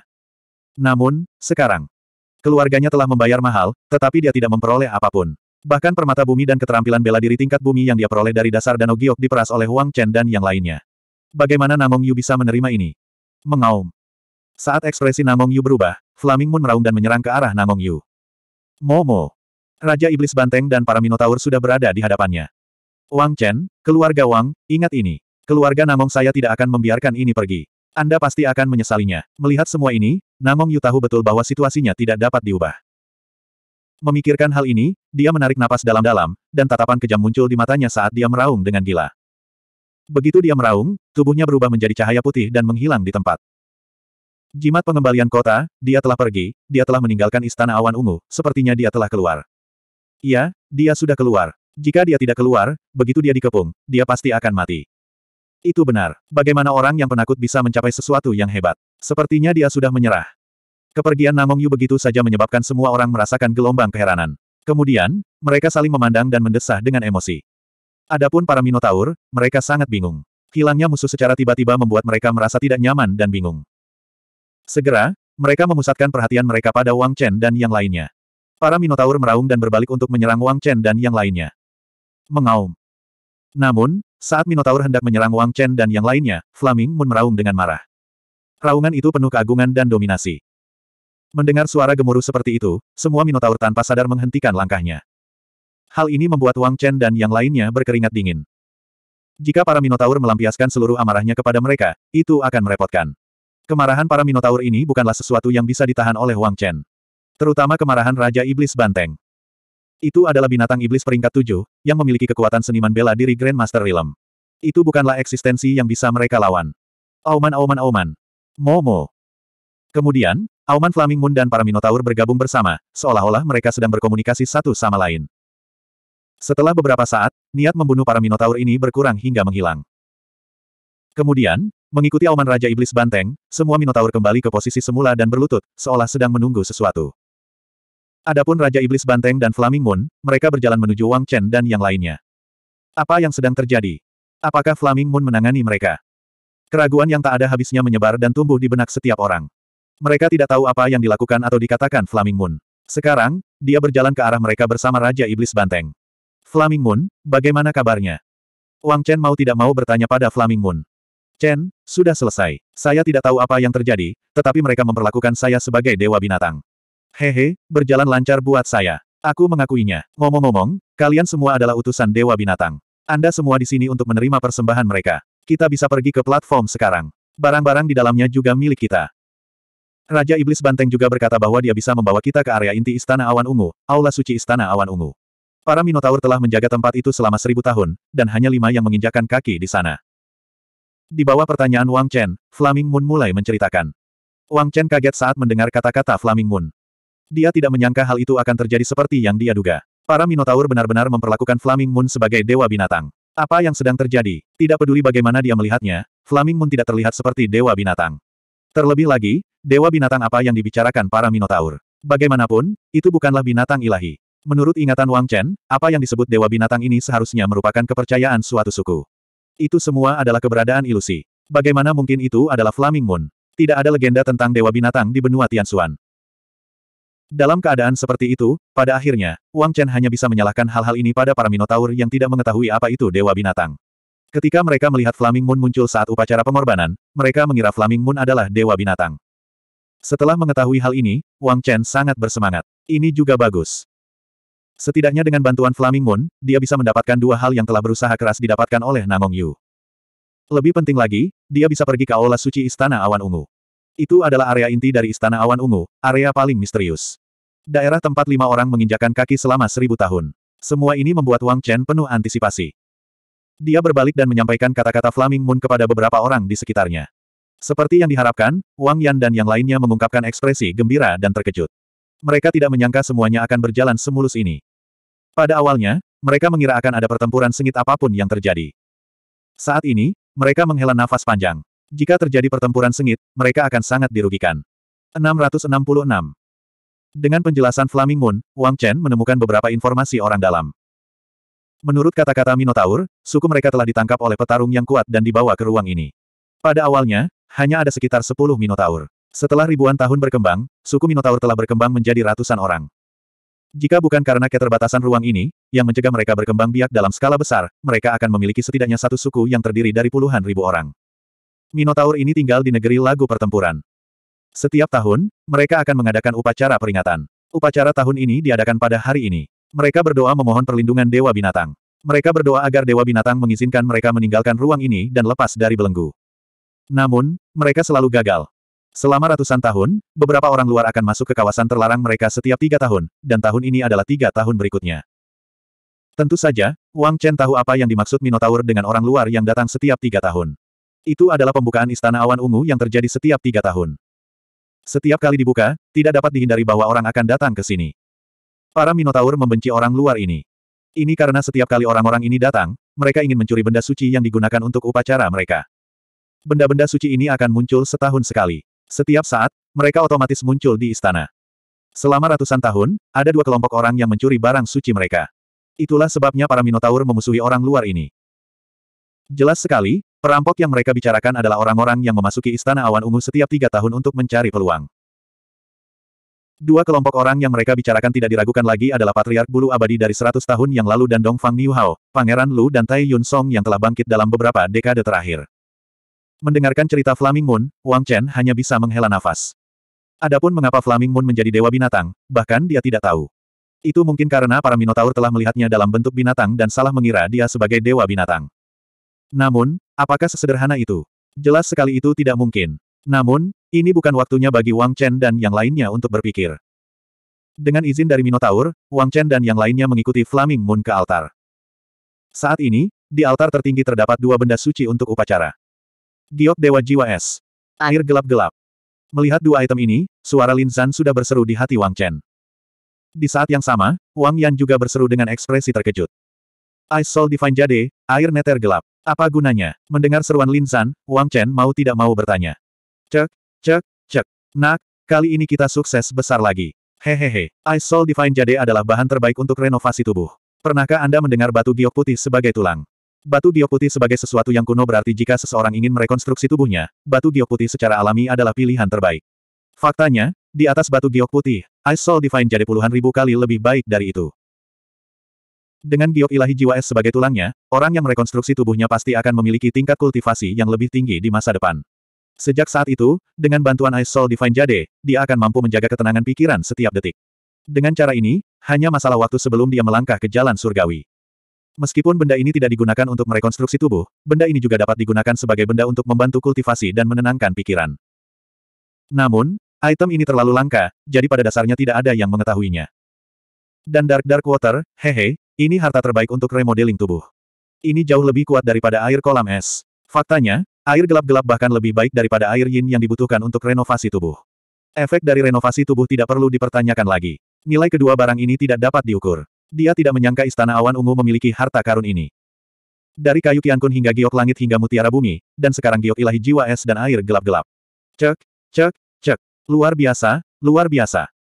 Menanggapi keraguan Wang Chen, Lin Zan menjelaskan dengan lugas.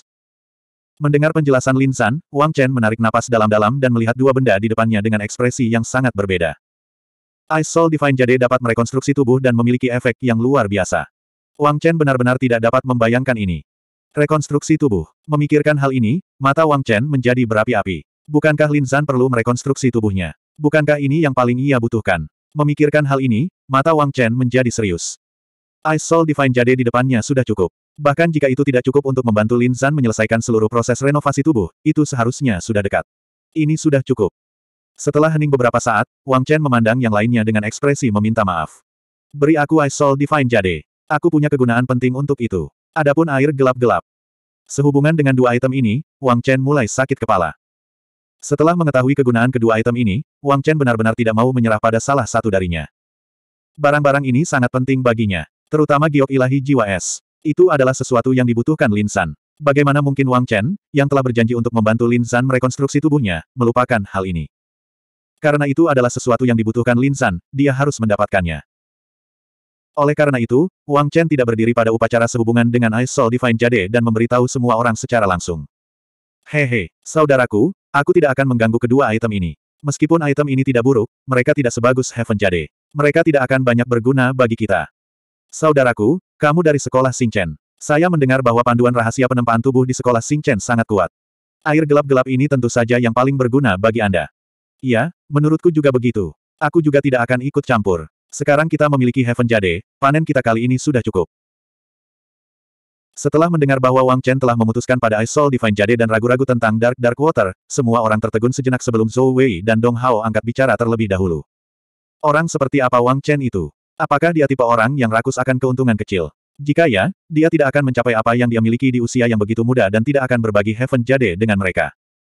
Baik Dong Hao maupun Zhou Wei sangat jelas dalam hal ini.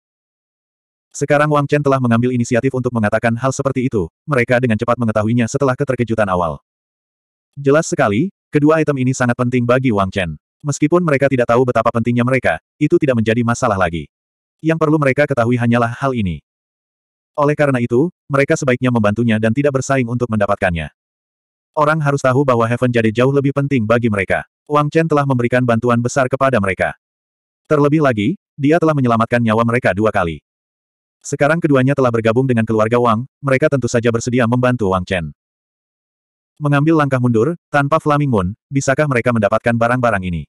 Jelas tidak, jadi mereka tidak rugi. Hadiah Heaven Jade dari Wang Chen tercermin pada saat ini. Heaven Jade adalah hadiah yang berharga. Setelah Dong Hao dan Zhou Wei menyatakan pendirian mereka, Wan Ze segera mengikutinya. Tentu saja, Wang Yan akan mendukung Wang Chen dalam segala hal. Wang Yan bersedia membiarkan Wang Chen mendapatkannya. Setelah semua orang mengutarakan pendiriannya, Han Yuxuan juga menghela nafas dan mengutarakan pendapatnya, saya juga mundur. Dia memandang Wang Chen dengan tatapan yang rumit. Itu bukan karena hal lain, juga bukan karena rasa iri atau kengganan. Sebaliknya, itu karena dia tidak menyangka Wang Chen bisa menjalin hubungan seperti itu dalam waktu sesingkat itu. Hal ini membuat Han Yuxuan sangat emosional. Wang Chen saat ini bukan lagi Wang Chen di masa lalu. Dia bukan lagi sampah yang diejek semua orang. Keluarga Wang saat ini bukan lagi keluarga Wang di masa lalu. Wang Chen telah mengantarkan zamannya sendiri. Ini. Mendengar kata-kata orang banyak, senyuman pahit muncul di wajah Wang Chen. Dia tidak menyangka semua orang akan membuat pilihan seperti itu. Hal ini membuat Wang Chen sedikit malu. Namun, kedua barang ini terlalu penting baginya, jadi Wang Chen tidak menolaknya. Baiklah, kalau begitu, aku akan menerimanya. Jika kamu membutuhkan sesuatu di masa depan, keluarga Wang akan melakukan yang terbaik. Tentu saja, dia tidak bisa menganiaya orang-orang ini setelah menerima barang-barang ini. Oleh karena itu, Wang Chen berjanji. Sebuah janji yang akan membuat semua orang gila di masa depan. Bantuan penuh dari keluarga Wang. Bahkan bagi keluarga Wang saat ini, membuat janji seperti itu sudah memberikan manfaat yang besar, apalagi bagi keluarga Wang di masa depan. Tidak ada yang tahu seberapa jauh masa depan keluarga Wang bisa melangkah, tapi itu pasti tidak terbatas. Dalam hal ini, bobot janji ini tidak dapat diungkapkan dengan kata-kata. Ini juga merupakan kompensasi Wang Chen kepada semua orang. Kemudian, setelah berdiskusi, Wang Chen dengan hati-hati menyimpan kedua barang itu. Baru kemudian dia menghela nafas lega, wajahnya penuh kegembiraan. Kali ini, datang ke Istana Awan Ungu sungguh berharga. Itu adalah panen yang luar biasa. Baiklah, ayo pergi ke Templar Hall. Setelah semuanya selesai, Wang Chen berkata kepada semua orang. Altar suci adalah tempat yang belum pernah diinjak oleh siapa pun di Istana Awan Ungu selama ribuan tahun. Sekarang, Wang Chen dan yang lainnya akhirnya pergi ke tempat ini. Ini adalah tempat paling misterius di Istana Awan Ungu, dan juga merupakan tempat inti. Bisa dibayangkan signifikansinya. Mendengar kata-kata Wang Chen, semua orang bersemangat. Akankah ada pertemuan misterius lainnya di Templar Hall? Masih ada satu hari tersisa. Mereka punya waktu satu hari penuh untuk berusaha mendapatkan manfaat sebanyak-banyaknya. Itu juga karena Wang Chen dan Flaming Moon sehingga mereka bisa pergi ke Aula Templar. Oleh karena itu, semua orang secara alami memberikan bantuan ini kepada Wang Chen. Flaming Moon, ayo pergi. Pada saat berikutnya, Wang Chen menginstruksikan Flaming Moon. Mendengar kata-kata Wang Chen, Flaming Moon menggeram ke arah para Minotaur, seolah-olah sedang mengatakan sesuatu. Saat Raja Iblis Banteng menganggukkan kepalanya, dia berjalan menuju altar dan menuju Wang Chen dan yang lainnya. Yang mengejutkan semua orang, jalan menuju Templar Hall ada di altar ini. Sama seperti Battle Song Land dan Jadi Lake, jalan menuju Templar Hall juga merupakan sebuah terowongan. Dengan upaya gabungan dari sepuluh Minotaur, jalan menuju Aula Templar terbuka. Melihat terbukanya terowongan, Raja Iblis Banteng berbicara kepada Flaming Moon dalam bahasa yang tidak dapat dipahami oleh siapa pun. Dengan bantuan terjemahan Flaming Moon, Wang Chen mengetahui bahwa Raja Iblis Banteng ingin semua orang mengikutinya ke Aula Templar. Pada saat yang sama, dia meminta mereka untuk tidak mengungkapkan rahasia ini. Tentu saja, Wang Chen dan yang lainnya tidak akan menolak permintaan tersebut. Oleh karena itu, segera, Raja Iblis Banteng memimpin 20 Minotaur dan memimpin Wang Chen dan yang lainnya ke dalam terowongan. Mereka berjalan maju menuju Templar Hall. 667 Setelah melintasi terowongan panjang dalam waktu yang lama, beberapa dari mereka tiba-tiba merasakan pemandangan sebelum mereka menjadi cerah. Tidak ada kesedihan, tidak ada bahaya, tidak ada pemandangan mengejutkan di depan mereka. Apa yang mereka lihat hanyalah sebuah suku kecil yang damai. Ada beberapa gubuk jerami sederhana dan beberapa minotaur yang sibuk. Ini seperti sebuah desa kecil yang ada di surga. Meskipun orang-orang yang tinggal di sini semuanya minotaur, mereka memberikan perasaan sederhana dan nyaman. Melihat desa di depannya, mata Wang Chen menunjukkan sedikit nostalgia dan daya tarik. Momo. Saat Wang Chen dalam keadaan linglung, serangkaian tangisan minotaur terdengar. Kemudian, Mengikuti auman Raja Iblis Banteng, semua Minotaur di desa berkumpul di sini. Dalam sekejap mata, tidak kurang dari seratus Minotaur berkumpul di depan mereka. Seperti yang diceritakan oleh Raja Iblis Banteng, para Minotaur memandang Flaming Moon dengan mata penuh rasa hormat. Semua Minotaur merangkak di tanah dan menyembah Flaming Moon. Permusuhan terhadap Wang Chen dan yang lainnya menghilang saat ini. Mereka menyembah dewa binatang mereka. Dalam sekejap mata, para Minotaur ditundukkan oleh Flaming Moon. Hal ini membuat Wang Chen dan yang lainnya merasa malu. Mereka tidak tahu metode apa yang digunakan Flaming Moon untuk menipu para Minotaur sejauh ini. Setelah sekian lama, para Minotaur mundur dengan hati-hati di bawah sinyal Raja Iblis Banteng di tengah teriakan Flaming Moon. Namun, mereka meninggalkan perasaan. Saat ini, para Minotaur sangat bersemangat. Chen, ayo pergi. Raja Iblis Banteng membawa kita ke Sage Hall. Flaming Moon berkata kepada Wang Chen dengan penuh semangat. Sage Hall terletak di kedalaman desa. Sepanjang jalan yang terjal, di bawah kepemimpinan Raja Iblis Banteng, sekelompok orang tiba di tempat paling misterius di Istana Awan Ungu tanpa banyak usaha. Ketika mereka melihat Sage Hall, mereka merasa heran. Itu tidak semegah atau sehebat yang mereka bayangkan. Hanya ada aula kecil. Itu tidak besar, sangat sederhana dan sederhana. Namun, itu memancarkan aura misterius. Lingkungan sekitar aula orang suci dijaga ketat. Tidak ada pintu yang terlihat. Itu adalah bangunan yang tertutup rapat. Semua orang terkejut secara diam-diam. Yang lebih membingungkan Wang Chen dan yang lainnya adalah bahwa di tanah kosong di depan Aula Templar, ada sederet jejak kaki yang tampak berantakan namun teratur tertanam dalam di tanah. Tidak ada yang tahu berapa tahun yang telah mereka alami, tidak ada yang tahu berapa banyak angin dan salju yang mereka alami, namun deretan jejak kaki ini sepertinya menceritakan kisah sejarah yang menakjubkan. Jejak waktu menambahkan jejak perubahan dan kesederhanaan, memberikan perasaan mendalam yang tak terbatas. Apa yang diwakili oleh deretan jejak kaki ini? Apa yang diwakili oleh aula orang suci ini? Rahasia macam apa yang tersembunyi di dalamnya? Untuk sesaat, Wang Chen dan yang lainnya dipenuhi rasa ingin tahu. Chen, Raja Iblis Banteng berkata bahwa ini adalah aula orang suci. Selama ribuan tahun, misi para Tauren di sini adalah menjaga kuil. Jika dia ingin memasuki aula orang suci, dia harus mengandalkan keberuntungan. Dengan mengikuti jejak kaki ini, dia akan bisa memasuki aula orang suci. Meskipun tidak ada seorang pun yang mampu mencapai tempat ini dan berada begitu dekat dengan aula orang suci selama seribu tahun terakhir, para Tauren telah mencobanya berkali-kali. Namun, belum ada seorang pun yang mampu melintasi jejak kaki ini.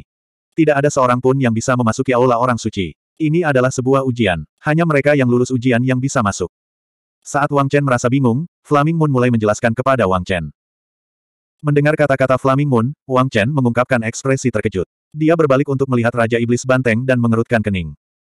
Jika itu masalahnya, maka jejak kaki ini adalah bagian dari susunan sihir untuk memasuki aula orang suci. Hanya mereka yang bisa melewati jejak kaki ini yang bisa mendapatkan warisan aula orang suci dan masuk ke dalamnya. Selama ribuan tahun, tidak ada seorang pun yang mampu melewati tempat ini.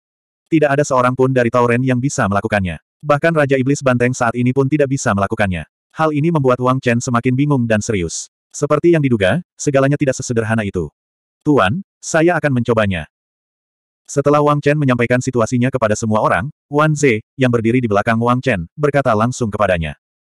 Mendengar saran Wan Ze, tidak ada yang keberatan. Lagi pula, deretan jejak kaki itu penuh misteri dan mereka hanya tahu sedikit tentangnya.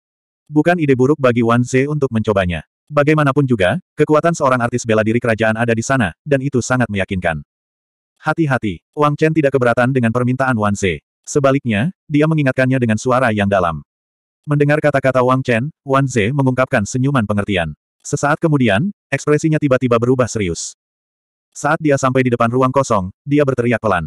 Lalu, dia mengambil langkah pertama dengan ekspresi serius. Ledakan. Dengan satu langkah, dia melangkah ke jejak kaki itu. Dalam sekejap, hati semua orang sepertinya tergerak. Semua orang bisa merasakan bahwa Wan Ze. Jelas ada lapisan energi aneh yang menutupi tubuhnya. Buk buk buk. Dengan langkah kaki yang tumpul, Wan Ze mengambil tiga langkah berturut-turut. Bang! Saat berikutnya, semua orang bisa merasakan tubuh Wan Ze menegang dan ekspresinya berubah serius. Mungkinkah ada misteri dalam jejak kaki ini? Melihat ini, mata Wang Chen dipenuhi keraguan. Buk buk buk. Tiga langkah lagi, ekspresi Wan Ze menjadi semakin serius. Kemudian, setiap langkah yang diambilnya tampak sangat sulit. Ketika Wan Ze mengambil 18 langkah, semua orang dapat melihat tubuhnya mulai sedikit gemetar. Dia sebenarnya berdiri di tempat yang sama untuk waktu yang lama dan tidak bergerak sedikit pun. Buk buk. Setelah pulih dalam waktu yang lama, Wan Ze berteriak dengan marah. Yuan batin di sekitar tubuhnya melonjak ke puncaknya dan dia tiba-tiba mengambil dua langkah lagi, memasuki jajaran langkah ke-20. Puff. Namun, pada saat ini, Wan Ze membuka mulutnya dan mengeluarkan seteguk darah segar. Seluruh tubuhnya gemetar, dan pada saat berikutnya, dia sepertinya mendapat tekanan yang tak ada habisnya. Dengan bunyi gedebuk, dia berlutut dengan satu kaki dan tidak bisa bergerak. Merasa. Melihat pemandangan ini, Wang Chen dan yang lainnya menarik napas dingin. Apa yang sedang terjadi? Apa yang sudah terjadi? Kenapa Wan Ze tiba-tiba melakukan ini? Memang benar, jejak kaki ini mengandung misteri yang tak ada habisnya. Seorang Imperial Martialis sebenarnya tidak bisa menahannya setelah mengambil 20 langkah. Ini sungguh mengejutkan. Puff. Setelah mengeluarkan energi dalam jumlah yang tidak diketahui, Wan Ze berdiri dengan susah payah dan mengeluarkan seteguk darah segar lagi. Wajahnya menjadi pucat saat dia menggelengkan kepalanya sedikit dan memilih untuk menyerah. Ketika dia kembali ke sisi Wang Chen dan yang lainnya, Wan Ze basah kuyup oleh keringat dingin. Pakaiannya sudah basah oleh keringat. Jarak 20 langkah sudah cukup untuk membuatnya menahan tekanan yang tak ada habisnya. Aku tidak tahan lagi. Wan Ze tersenyum pahit sambil menatap Wang Chen. Dia merasa harus menanggung tekanan yang tak terbayangkan dalam setiap langkah yang diambilnya. Perasaan yang tak terlukiskan. Mendengar kata-kata Wan Ze, semua orang saling memandang. Memang, ada rahasia besar di balik jejak kaki tersebut. Biarkan aku mencoba. Dong Hao berkata kepada orang banyak setelah Wan Ze menyerah. Begitu dia selesai berbicara, Dong Hao mengambil langkah pertamanya. Lagi pula, tidak ada seorang pun yang mau menyerah setelah datang ke tempat ini. Jelas sekali bahwa aula orang suci ini tidak sesederhana itu. Ini jelas mengandung peluang, jadi tidak ada yang mau menyerah sekarang. Meskipun mereka tahu itu akan sulit, mereka tetap ingin mencobanya. Buk buk buk. Off. Namun, yang mengejutkan semua orang, Dong Hao tidak tahan lagi setelah mengambil 18 langkah. Sambil mengerang, darah segar berceceran di mana-mana, dan dia memilih menyerah pada akhirnya. Melihat wajah pucat Dong Hao, semua orang saling memandang dengan cemas. Berikutnya adalah Zhou Wei. Namun, Zhou Wei pada akhirnya hanya bisa mengambil 18 langkah. Setelah mengambil 19 langkah, dia tidak dapat mengambil langkah lain. Berikutnya adalah Han Yuxuan. Sayangnya, Han Yuxuan juga gagal karena jejak kaki aneh ini. Namun, dia telah mengambil total 25 langkah. Hasilnya bahkan lebih baik daripada Wan Ze. Namun, semua orang tahu bahwa dia telah mencapai batasnya ketika dia mengambil 20 langkah. Dia harus memaksakan diri untuk mengambil 5 langkah terakhir. Berikutnya adalah Wang Yan. Aura Wang Yan yang mendominasi dan kekuatan gagah berani memungkinkan dia mengambil 33 langkah. Ada total 36 jejak kaki di tanah kosong. Pada akhirnya, Wang Yan pingsan di 33 anak tangga. Dia hanya berjarak tiga langkah lagi untuk memasuki aula orang suci, namun dia telah terjatuh tiga langkah sebelum akhirnya. Hal ini membuat semua orang menghela nafas dengan emosi. Namun, semua orang tahu bahwa 33 langkah adalah batas Wang Yan. Dia tidak bisa mengambil langkah lain. Jika dia mengambil satu langkah ke depan, dia mungkin mati. Mengambil langkah lain bukanlah sesuatu yang dapat dia tanggung. Setiap langkah dalam jejak kaki ini menjadi semakin sulit. Tingkat kesulitan ini cukup untuk menantang batas kemampuan Wang Yan. Dengan senyum pahit di wajahnya, Wang Yan kembali ke tempat asalnya dan menghela nafas. Dia menatap Wang Chen dengan antisipasi di matanya. Akhirnya, setelah semua orang pingsan, Wang Chen menghela nafas dan berkata dengan suara yang dalam, biarkan saya mencoba. Saat suaranya turun, matanya tiba-tiba menajam. Seluruh tubuhnya memancarkan aura yang menakutkan dan agung. Berdiri di depan jejak kaki ini, Wang Chen berteriak ringan dan membuka delapan gerbang tersembunyi dalam. Esensi sejati meletus dari tubuhnya, dan aura yang kuat dan sombong langsung menyebar dari Wang Chen, memicu angin menderu. Sekarang, aura sombong Wang Chen setelah membuka delapan gerbang tersembunyi dalam sudah cukup untuk menggerakkan semua orang. Ayo pergi. Dengan teriakan ringan, Wang Chen mengambil langkah pertamanya. Saat dia mengambil langkah pertamanya, Wang Chen jelas bisa merasakan perubahan. Seolah-olah dengan langkah ini, seluruh dunianya telah berubah. Pemandangan di sekitarnya berubah, dunia berputar di sekelilingnya, dan tekanan samar menyapu dirinya. Kamu ingin mempersulitku dengan susunan yang sepele. Ayo pergi. Merasakan perubahan ini, kulit Wang Chen berubah, dan bibirnya melengkung membentuk cibiran. Dengan teriakan keras, esensi sejati Wang Chen meledak. Deng deng deng. Dalam satu tarikan napas, Wang Chen mengambil tiga langkah. 668. Merasakan tekanan ini, Wang Chen merasa seolah-olah darah di tubuhnya ditarik dan mulai mendidih. Tep, tep, tep. Menarik napas dalam-dalam, Wang Chen mengambil tiga langkah lagi. Setiap langkah lebih sulit dari sebelumnya. Darahnya mendidih, dan bahkan jiwanya mulai berdenyut. Perubahan hidup mengalir ke arahnya. Penindasan yang biadab dan biadab membuat Wang Chen sulit bernapas. Dengan tekad, kebanggaan, dan ketekunan di matanya, Wang Chen terus mengambil langkah demi langkah. Ketika Wang Chen mengambil langkah ke-18, dia dapat dengan jelas merasakan bahwa setiap sel di tubuhnya sedang tertekan, melawan, dan mengaum. Dengan langkah ini, ilusi dalam pikiran Wang Chen terlahir kembali. Merasa. Merasakan ini, merasa bahwa pikirannya terus-menerus diserang, Wang Chen buru-buru meletakkan langkahnya. Berdiri di tempat, dia memejamkan mata sedikit, mencoba menjernihkan pikiran dan menjernihkan pikirannya. Penindasan terhadap hutan belantara, invasi jiwa, guncangan garis keturunan, tekanan yang tak terbatas.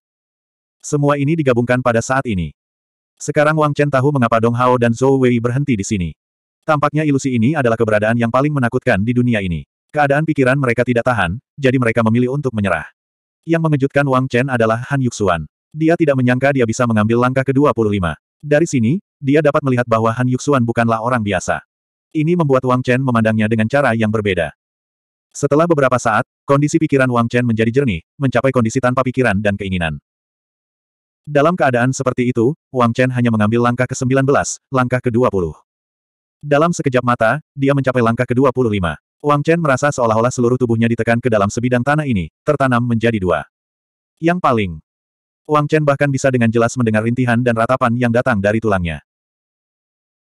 Bahkan dengan intensitas tubuh tahap ketujuh Wang Chen dan kekuatan seniman bela diri Kaisar langkah pertama puncak, dalam situasi di mana dia telah membuka delapan gerbang tersembunyi dalam, Wang Chen masih merasa kesulitan.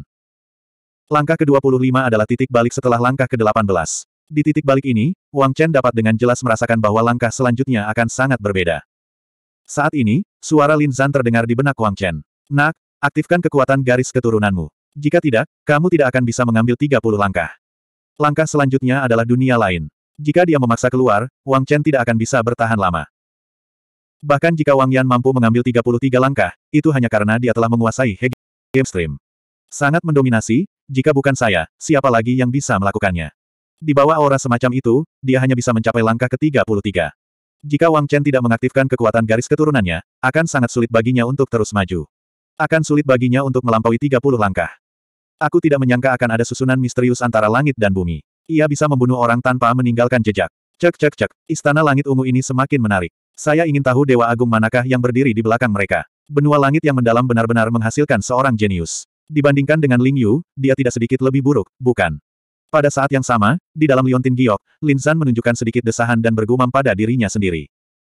Mendengar kata-kata Lin Zan, Wang Chen tidak ragu-ragu.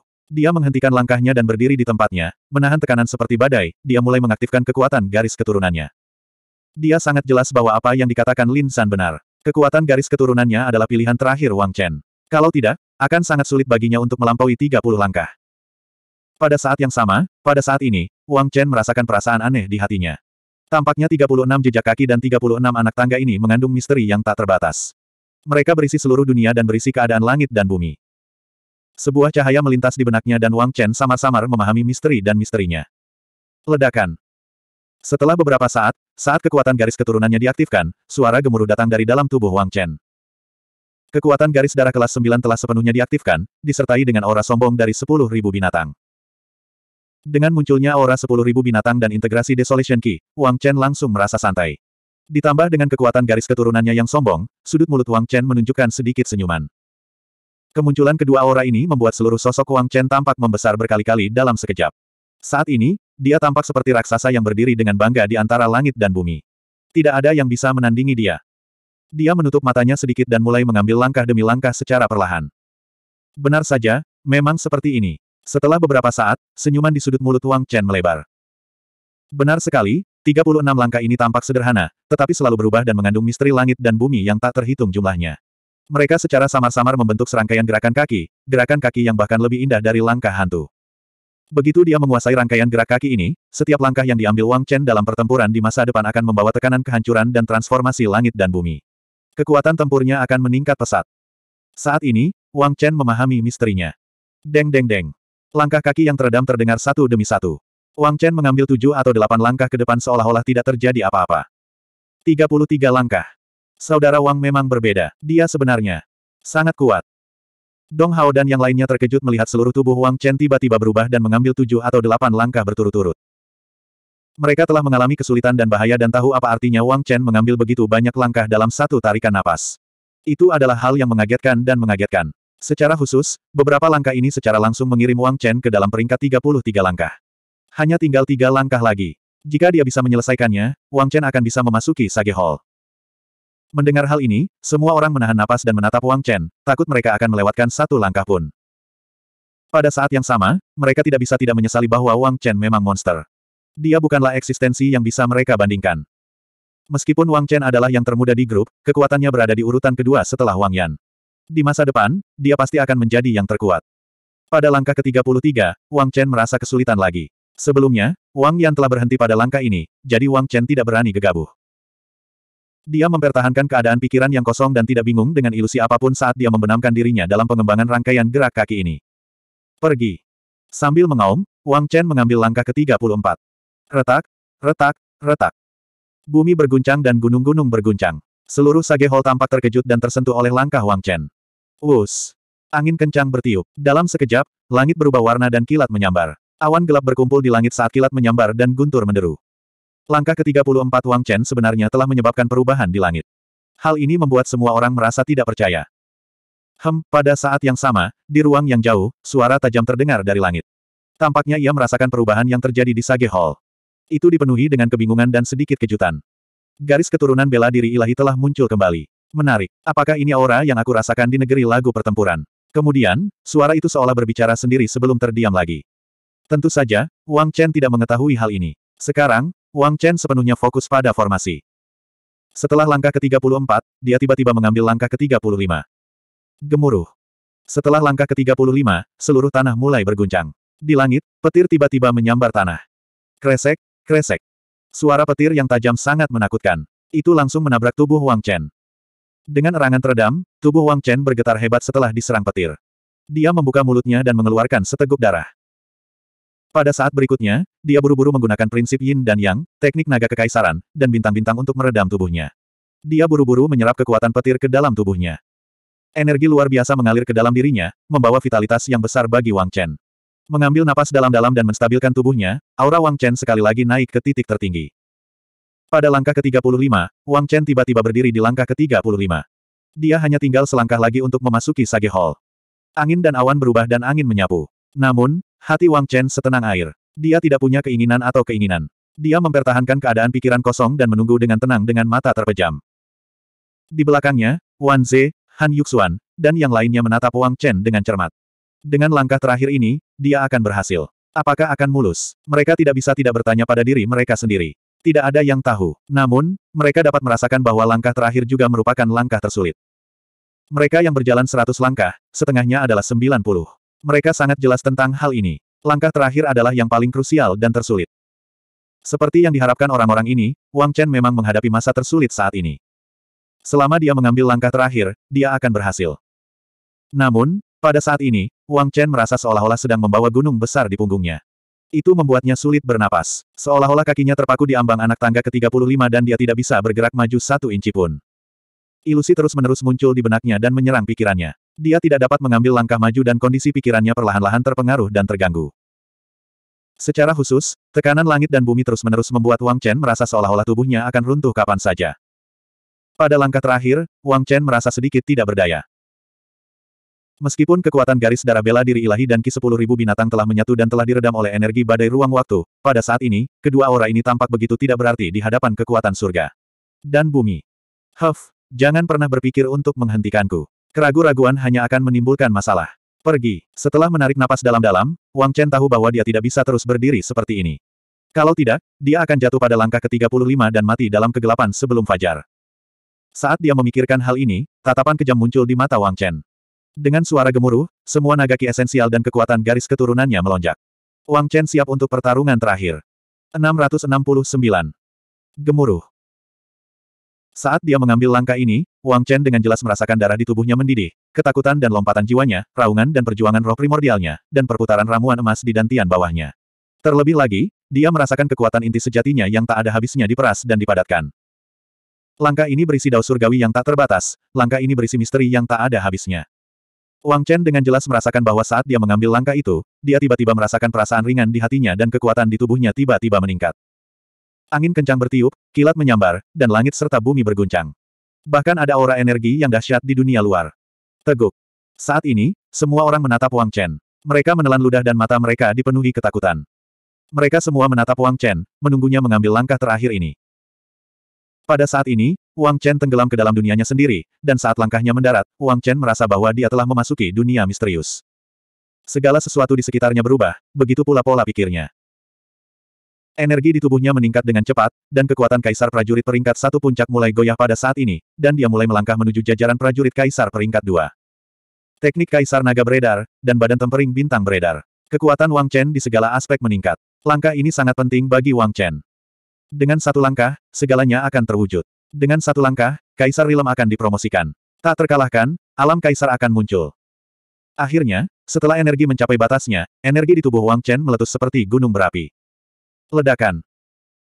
Dengan peningkatan ini, Wang Chen menerobos penghalang itu, dan dengan raungan, inti emas Wang Chen tiba-tiba menguat, dan roh primordial serta esensi sejatinya berkembang pesat. Terobosan. Itu benar, Wang Chen menerobos, dan dalam keadaan seperti itu, Wang Chen bergegas ke jajaran prajurit kaisar peringkat dua. Ledakan. Di tengah gemuruh guntur dan kilat, aura Wang Chen tiba-tiba naik. Dalam situasi di mana dia telah membuka delapan gerbang tersembunyi dalam, mengaktifkan bakat garis keturunannya, dan menstimulasi kekuatan garis keturunannya, kekuatan Wang Chen meningkat tanpa batas. Dia berhasil menerobos. Sudah membaik. Prajurit Kaisar peringkat dua. Ya Tuhan, saudaraku, dia. Merasakan perubahan aura Wang Chen, bagaimana mungkin orang-orang yang menonton dari pinggiran tidak merasakan perubahannya? Untuk sesaat, semua orang saling memandang dengan tidak percaya. Tidak ada yang menyangka bahwa Wang Chen akan membaik dalam situasi berbahaya dan sulit seperti ini. Bukan saja tidak mengalami luka apa pun, namun ia juga memperoleh manfaat. Dia menggunakan kesempatan ini untuk menerobos. Pada usia 19 tahun, dia sudah menjadi kaisar bela diri tahap kedua. Di seluruh perbatasan utara, dialah satu-satunya. Di seluruh benua Tianxuan, dia sangat langka seperti bulu burung phoenix. Wang Chen sekali lagi menciptakan keajaiban di depan semua orang, menciptakan kejayaannya sendiri.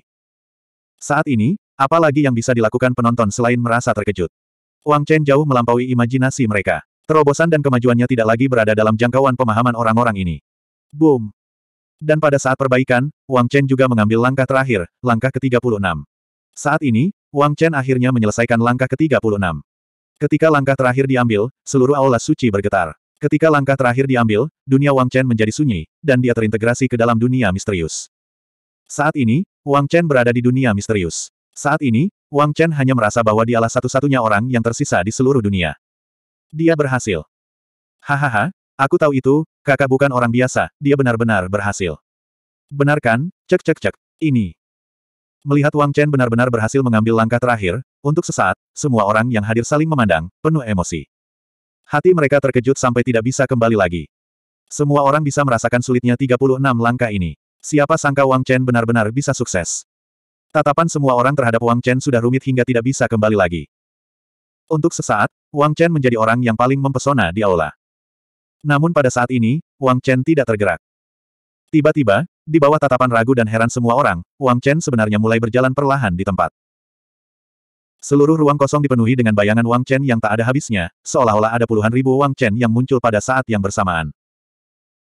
Benar sekali, pada saat ini, setelah mengambil langkah terakhir, Wang Chen tidak hanya mencapai terobosan, tetapi dia juga memahami misteri dari 36 langkah tersebut. Gerak kaki, benar, seperti yang diharapkan Wang Chen, ini adalah serangkaian gerak kaki. Serangkaian gerak kaki yang sangat misterius. Meskipun dia tidak mengetahui levelnya, Wang Chen yakin bahwa rangkaian gerakan kaki ini dapat dianggap sebagai gerakan kaki tingkat surga. Meski hanya ada 36 anak tangga, namun setiap anak tangga mengandung misteri, setiap anak tangga mengandung misteri surga. Di bawah 36 langkah, ada perubahan tanpa akhir, misteri tanpa akhir, dan kekuatan yang tak tertandingi. Pada saat ini, Wang Chen telah memahami misteri dan misteri di dalamnya, jadi dia mulai berkultivasi. Guntur dan kilat di langit berhenti, awan gelap menghilang, dan angin berhenti. Seluruh dunia tampak sunyi, kecuali Wang Chen yang terus-menerus berjalan di ruang kosong. Sosoknya berkelebat aneh di depan mata semua orang, meninggalkan bayangan tak berujung, sehingga mustahil bagi orang untuk membedakan misteri di dalamnya. Retak-retak-retak-retak. Serangkaian suara pelan datang, dan di depan Sage Hall yang tersegel, sebuah pintu ruang waktu muncul dari udara tipis. Dengan gerak kaki yang aneh, sosok Wang Chen melintas dan menghilang ke dalam pintu. Segera setelah itu, pintunya menghilang. Bahkan tidak ada kesempatan bagi Wang Yan dan yang lainnya untuk bereaksi. Aula bijaksana, dia benar-benar melangkah ke Sage Hall. Melihat adegan ini, Wang Yan dan yang lainnya dipenuhi dengan emosi. Terutama Dong Hao dan Zhou Wei, wajah mereka dipenuhi rasa iri. Wang Chen benar-benar memasuki Sage Hall yang misterius ini. Misteri apa yang menunggunya di dalam? Setiap orang pasti memiliki sedikit antisipasi dan keraguan. Di saat yang sama, ada juga semacam desahan. Mereka benar-benar tidak bisa dibandingkan dengan Wang Chen. Untuk sesaat, semua orang berdiri di tempat dengan ekspresi emosi, menunggu dengan tenang. Adapun Wang Chen, setelah melangkah melewati pintu, dia sampai di sebuah ruang yang luas. Pada saat ini, Wang Chen sudah terbangun dari pemahamannya tentang gerak kaki. Melihat ruang ini, sudut mulutnya menunjukkan sedikit senyuman. Merasakan kekuatan batin sejati yang kuat di tubuhnya, dia bahkan lebih bersemangat. Sebagai prajurit kerajaan peringkat dua, kekuatannya telah meningkat di semua aspek, dan tubuh fisik level tujuhnya juga telah banyak diperkuat selama terobosan ini. Semua ini adalah keuntungan besar, tetapi yang lebih penting, Wang Chen telah memahami misteri rangkaian gerak kaki ini, yang memberinya kekuatan tempur yang benar-benar baru. Dengan cara ini, kekuatan Wang Chen meningkat setidaknya sepertiga kali ini. Dengan delapan gerbang tersembunyi dalam dan bakat garis keturunan, sekarang, Wang Chen benar-benar yakin bahwa dia bisa bertarung dengan prajurit kerajaan peringkat lima. Faktanya, setelah kekuatan garis keturunan diaktifkan, Wang Chen benar-benar yakin bahwa dia bisa bertarung dengan prajurit kerajaan peringkat 7, atau bahkan prajurit kerajaan peringkat 8. Untuk seseorang seperti Wang Chen yang penuh dengan hasrat dan urgensi akan kekuatan, sudah jelas betapa pentingnya hal ini. Setelah mengamati perubahannya sendiri, Wang Chen kemudian mengangkat kepalanya dan melihat sekeliling. Saat ini, dia berada di ruang misterius. Lingkungan sekitar tidak terbatas, dan di tengahnya, ada kumpulan cahaya putih yang melayang di udara, memberikan perasaan misterius dan aneh. Mengikuti kumpulan cahaya ini, Wang Chen perlahan berjalan ke depan, dan dalam waktu singkat, dia tiba di depan cahaya. Di tengah cahaya, pada saat ini, ada gulungan putih yang tergantung di udara. Ini juga satu-satunya di seluruh ruang ini, satu-satunya aura. Saat dia melihat gulungan ini, Wang Chen mengangkat alisnya sedikit, dia merasa itu familiar. Buku surgawi. Setelah beberapa saat, Wang Chen berteriak tanpa sadar. Benar sekali, saat ini, bukankah ini buku surgawi yang melayang di depannya? Itu persis sama dengan buku surgawi yang dia peroleh di abad pertengahan. Melihat buku surgawi yang ditangguhkan di ruang besar ini, Wang Chen merasakan sedikit keanehan. Dan di ruang ini, dan untuk beberapa alasan, Wang Chen tidak tahu mengapa dia kehilangan kontak dengan Lin San di ruang ini, seolah-olah ada energi kuat di ruang ini yang menghalangi hubungannya dengan Lin San. Hal ini membuat Wang Chen merasa hal ini tidak terbayangkan. Situasi ini hanya terjadi di ruang misterius itu pada abad pertengahan, dan sekarang, ini adalah kedua kalinya hal itu terjadi. Bagaimanapun, semua ini penuh misteri, dan memberikan perasaan yang tidak dapat mereka pahami. Benar saja, ruang ini berisi rahasia yang tak terhitung jumlahnya. Memikirkan hal ini, jantung Wang Chen berdetak kencang, dan dia buru-buru mengulurkan tangan untuk meraih titik cahaya. Pada saat ini, kekuatan misterius dihasilkan dan menghalangi gerakan Wang Chen. Huff, bubar. Merasakan kekuatan ini, Wang Chen menjerit pelan, dan vitalitas esensial di tubuhnya tiba-tiba meledak. Sambil meraung, dia menerobos kekuatan ini dan meraih gulungan itu dengan kuat. Begitu gulungan itu berada di tangannya, Wang Chen langsung merasakan kekuatan misterius menyebar ke arahnya. Jilid ke-8 dari buku surgawi. Wang Chen menghirup udara dingin ketika dia melihat kata-kata di gulungan itu. Benar sekali, itu memang kitab surgawi. Sebelumnya, dia telah memperoleh volume pertama buku surgawi di abad pertengahan, dan kali ini, dia telah memperoleh volume ke-8. Apa gunanya buku surgawi ini? Apa yang diwakilinya, dan rahasia apa yang dikandungnya? Untuk sesaat, keraguan yang tak ada habisnya muncul di benak Wang Chen. Sayangnya, Wang Chen tidak dapat memahami misteri jilid pertama buku surgawi. Bagaimana dengan volume ke-8? Saat memikirkan hal ini, Wang Chen melihat buku surgawi di tangannya. Bas, bas, bas. Sebelum Wang Chen sempat melihatnya, dia melihat buku surgawi pergi, dan energi yang menyelimuti buku surgawi tiba-tiba menghilang. Langit dan bumi tidak berperasaan, memperlakukan semua makhluk hidup seperti anjing jerami. Saat lingkaran putih menyebar, sepuluh kata besar muncul di depan Wang Chen, dipenuhi aura sunyi dan kebencian. Dalam sekejap mata, sepuluh kata besar itu menghilang, dan titik cahaya menghilang. Seluruh ruang menjadi gelap gulita. Langit dan bumi tidak berperasaan, memperlakukan semua makhluk hidup seperti anjing jerami. Saat dia mengingat kata-kata besar ini, hati Wang Chen bergetar. Apa sebenarnya yang digambarkan oleh hal ini? Misteri dan rahasia apa yang dikandungnya? Untuk sesaat, Wang Chen bingung. Saat titik cahaya menyebar, Wang Chen hanya merasakan gelombang energi. Segera setelah itu, dia sepertinya tersedot ke dalam terowongan, dan seluruh tubuhnya didorong keluar dari aula suci oleh gelombang energi ini. 670. Saat Wang Chen didorong keluar dari Sage Hall oleh energi ini, gelombang Desolation Force dikirim dari dalam Sage Hall. Garis darah bela diri ilahi. Menarik. Saya tidak menyangka anak kecil ini akan datang ke Aula Suci. Dia pasti orang pertama yang menyelesaikan langkah ke-36 dalam seribu tahun, bukan? Garis darah bela diri suci memang tidak bisa dianggap remeh. Buku langit. Haha, aku harap kamu tidak mengecewakanku. Anda akan mengembalikan martabat garis darah bela diri suci. Sosok yang halus, tajam, ragu-ragu, dan penuh harap perlahan-lahan bertahan di Aula Suci. Setelah beberapa kalimat sederhana, Aula Suci sekali lagi menjadi sunyi. Auranya menghilang seolah-olah tidak pernah ada. Tentu saja, Wang Chen sama sekali tidak menyadari semua ini. Ketika Wang Chen sadar kembali, dia sudah muncul di luar aula suci. Chen kecil. Menguasai. Saudara laki-laki. Sejenak, melihat Wang Chen tiba-tiba muncul di depan mereka, kerumunan buru-buru berkumpul di sekelilingnya. Apakah kamu menemukan sesuatu? Kemudian, melihat Wang Chen tidak terkejut, kerumunan itu menghela nafas lega dan bertanya dengan ragu. Tidak, hanya ada satu gulungan. Itu gulungan kosong. Wang Chen melambaikan buku langit jilid ke-8 di tangannya dan tersenyum pahit. Tentu saja, dia tidak akan mengatakan bahwa itu adalah buku langit, dia juga tidak akan mengatakan hal lain. Ada beberapa hal yang tidak pantas diketahui orang lain. Namun, pada saat ini, Wang Chen sedikit melamun. Dia melihat buku langit jilid ke-8 di tangannya. Rahasia apa yang terkandung dalam buku langit ini? Bagaimana dia bisa membukanya? Langit dan bumi tidak berperasaan, memperlakukan semua makhluk hidup seperti anjing jerami. Kalimat ini sudah lama melekat di benak Wang Chen. Apa maksud kalimat ini? Rahasia dan rahasia surgawi macam apa yang terkandung di dalamnya? Samar-samar, Wang Chen merasa masalah ini tidak biasa. Dia melihat buku langit di tangannya dengan ekspresi serius. Volume ke-8 dari buku langit. Berapa volume buku langit yang ada di sana? Dia hanya memiliki dua sekarang, yang berarti setidaknya ada enam volume buku langit lagi yang menunggu untuk dijelajahi Wang Chen. Yang lebih membingungkan Wang Chen adalah mengapa buku surgawi muncul di Istana Langit Ungu. Rahasia macam apa yang dimiliki Istana Awan Ungu? Untuk sesaat, Wang Chen menjadi semakin bingung tentang Istana Awan Ungu, dan semakin banyak pertanyaan muncul di hatinya. Gulungan kosong. Saat ini, kerumunan tidak terlalu memperhatikan situasi Wang Chen. Sebagian besar perhatian mereka tertuju pada gulungan itu. Setelah melihatnya, mau tak mau mereka mengungkapkan sedikit kekecewaan. Mereka tidak menyangka tidak akan ada panen di Aula Suci. Baiklah, sudah waktunya. Kita harus meninggalkan tempat ini. Wang Chen menarik napas dalam-dalam dan menyimpan buku surgawi di ruang penyimpanannya dengan hati-hati sebelum berbicara kepada orang banyak. Sudah hampir tiga hari sejak dia memasuki Istana Awan Ungu. Sudah waktunya untuk pergi. Memikirkan hasil dari perjalanan ini, wajah semua orang dipenuhi dengan senyuman. Perjalanan ke Istana Awan Ungu ini tidak diragukan lagi telah memberikan hasil panen yang luar biasa bagi semua orang. Wang Chen, khususnya, tidak diragukan lagi adalah salah satu yang terbaik di antara mereka. Keuntungannya berada di luar imajinasi orang biasa. Langit-langit, kayu langit dan bumi, Raja Kala Jengking, permata bumi, dan keterampilan bela diri tingkat bumi. Salah satu dari ini adalah eksistensi yang hanya bisa dijunjung oleh orang biasa. Langit-langit, kayu langit dan bumi, dan Raja Kalajengking adalah hal-hal yang cukup untuk membuat seluruh benua Tianxuan menjadi gila. Selain itu, Wang Chen juga mendapatkan serangkaian gerak kaki misterius. Rangkaian gerak kaki ini setidaknya merupakan keterampilan bela diri tingkat surga. Wang Chen yakin. Meskipun Wang Chen hanya memahami permukaannya, dia sudah bisa merasakan kekuatan gerakan kaki ini. Bisa dibayangkan betapa menakutkannya kekuatan itu setelah dia menguasainya hingga mencapai titik kesempurnaan. Selain itu, Hasil panen Wang Chen jauh lebih dari itu. Dia juga berhasil menembus jajaran prajurit kerajaan tahap kedua. Pada saat yang sama, melalui energi badai ruang waktu, tubuhnya telah ditingkatkan secara menyeluruh. Terlebih lagi, ini merupakan lompatan kemajuan. Keuntungan ini bahkan lebih beragam.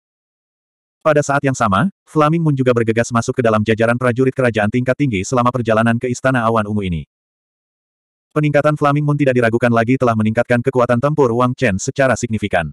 Sejak saat itu, Wang Chen tidak takut dengan prajurit kerajaan tingkat tinggi. Ini tidak diragukan lagi akan menjadi sesuatu yang dikagumi banyak orang. Oleh karena itu, perjalanan ke Istana Awan Ungu kali ini, Wang Chen tidak diragukan lagi adalah pemenang terbesar dan penerima manfaat terbesar. Memikirkan semua ini, Wang Chen sangat bersemangat. Satu-satunya kelemahan adalah energi spiritual Lin Zhan sekali lagi mengalami kerusakan besar. Setelah menanamkan energi tubuh spiritual tahap kelima, Lin Zhan saat ini menjadi sangat lemah. Memikirkan hal ini, Wang Chen menghela nafas diam-diam. Sepertinya dia harus menemukan cara untuk mendapatkan buah rohani hijau. Dia harus menghubungi kamar dagang emas hitam setelah dia kembali. Dengan status Irene saat ini sebagai anggota persekutuan tetua kamar dagang kristal hitam, seharusnya tidak menjadi masalah besar baginya untuk membantunya menemukan buah spiritual hijau. Ini juga sesuatu yang membuat Wang Chen merasa nyaman. Di bawah saran Wang Chen, semua orang mengeluarkan jimat pengembalian kota yang telah mereka peroleh sebelum memasuki Istana Awan Ungu dan bersiap untuk kembali. Adapun Raja Iblis Banteng dan para tauren lainnya, meskipun mereka berharap Dewa Binatang, mereka, Flaming Moon, dapat membantu mereka meninggalkan tempat ini, jelas bahwa Flaming Moon saat ini tidak memiliki kemampuan ini, jadi mereka bisa hanya mencari alasan asal-asalan. Setelah masukan kekuatan batin sejati, jimat pengembalian kota langsung mengeluarkan kekuatan traksi yang kuat. Jimat pengembalian kota ini sangat luar biasa. Dibuat dengan bahan dan metode khusus. Mereka memiliki hubungan misterius dengan formasi Istana Awan Ungu di luar Istana Awan Ungu dan dapat langsung mengirim Wang Chen dan yang lainnya keluar dari Istana Awan Ungu. Setelah masukan kekuatan batin sejati yang cukup, terjadilah kilatan cahaya. Wang Chen dan yang lainnya hanya merasa bahwa mereka ditarik ke dalam terowongan ruang waktu, dan kemudian mereka menghilang dari Istana Awan Ungu. Langit dan bumi berputar, dan badai ruang waktu terus menimbulkan kekacauan di sekitar mereka.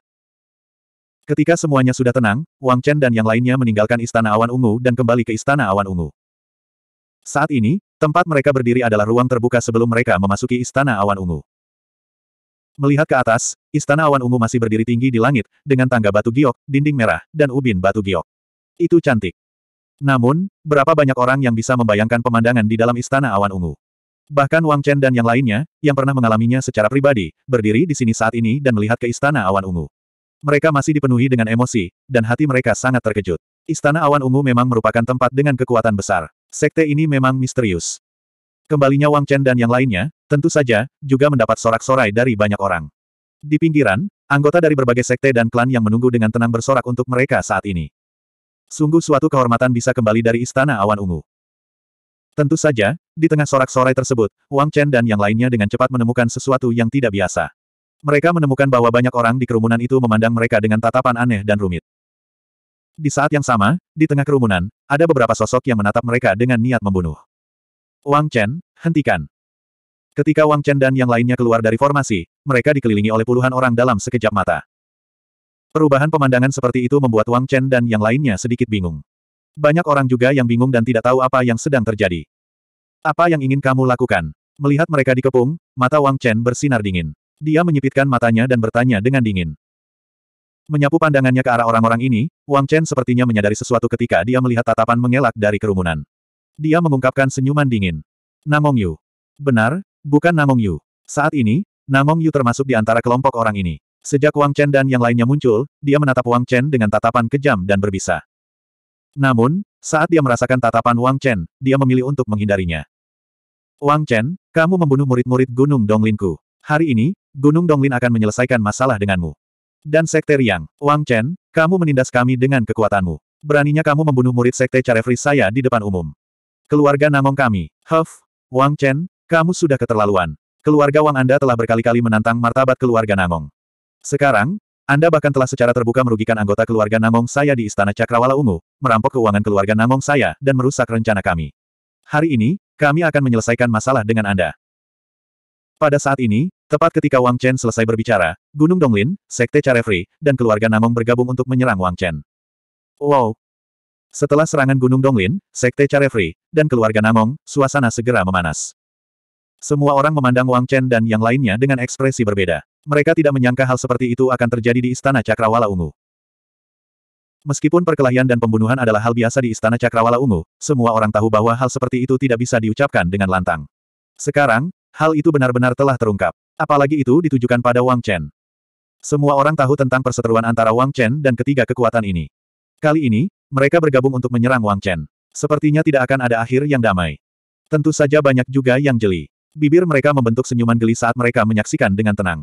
Terlalu banyak hal mencurigakan yang terjadi dalam masalah ini. Mereka sudah merasakan ada sesuatu yang tidak beres. Masalah ini tidak akan berakhir begitu saja. Aku membunuh anggota Gunung Donglin dan Sekte Riang. Menganiaya keluarga Namong. Mendengar tuduhan orang-orang ini, bibir Wang Chen membentuk senyuman dingin.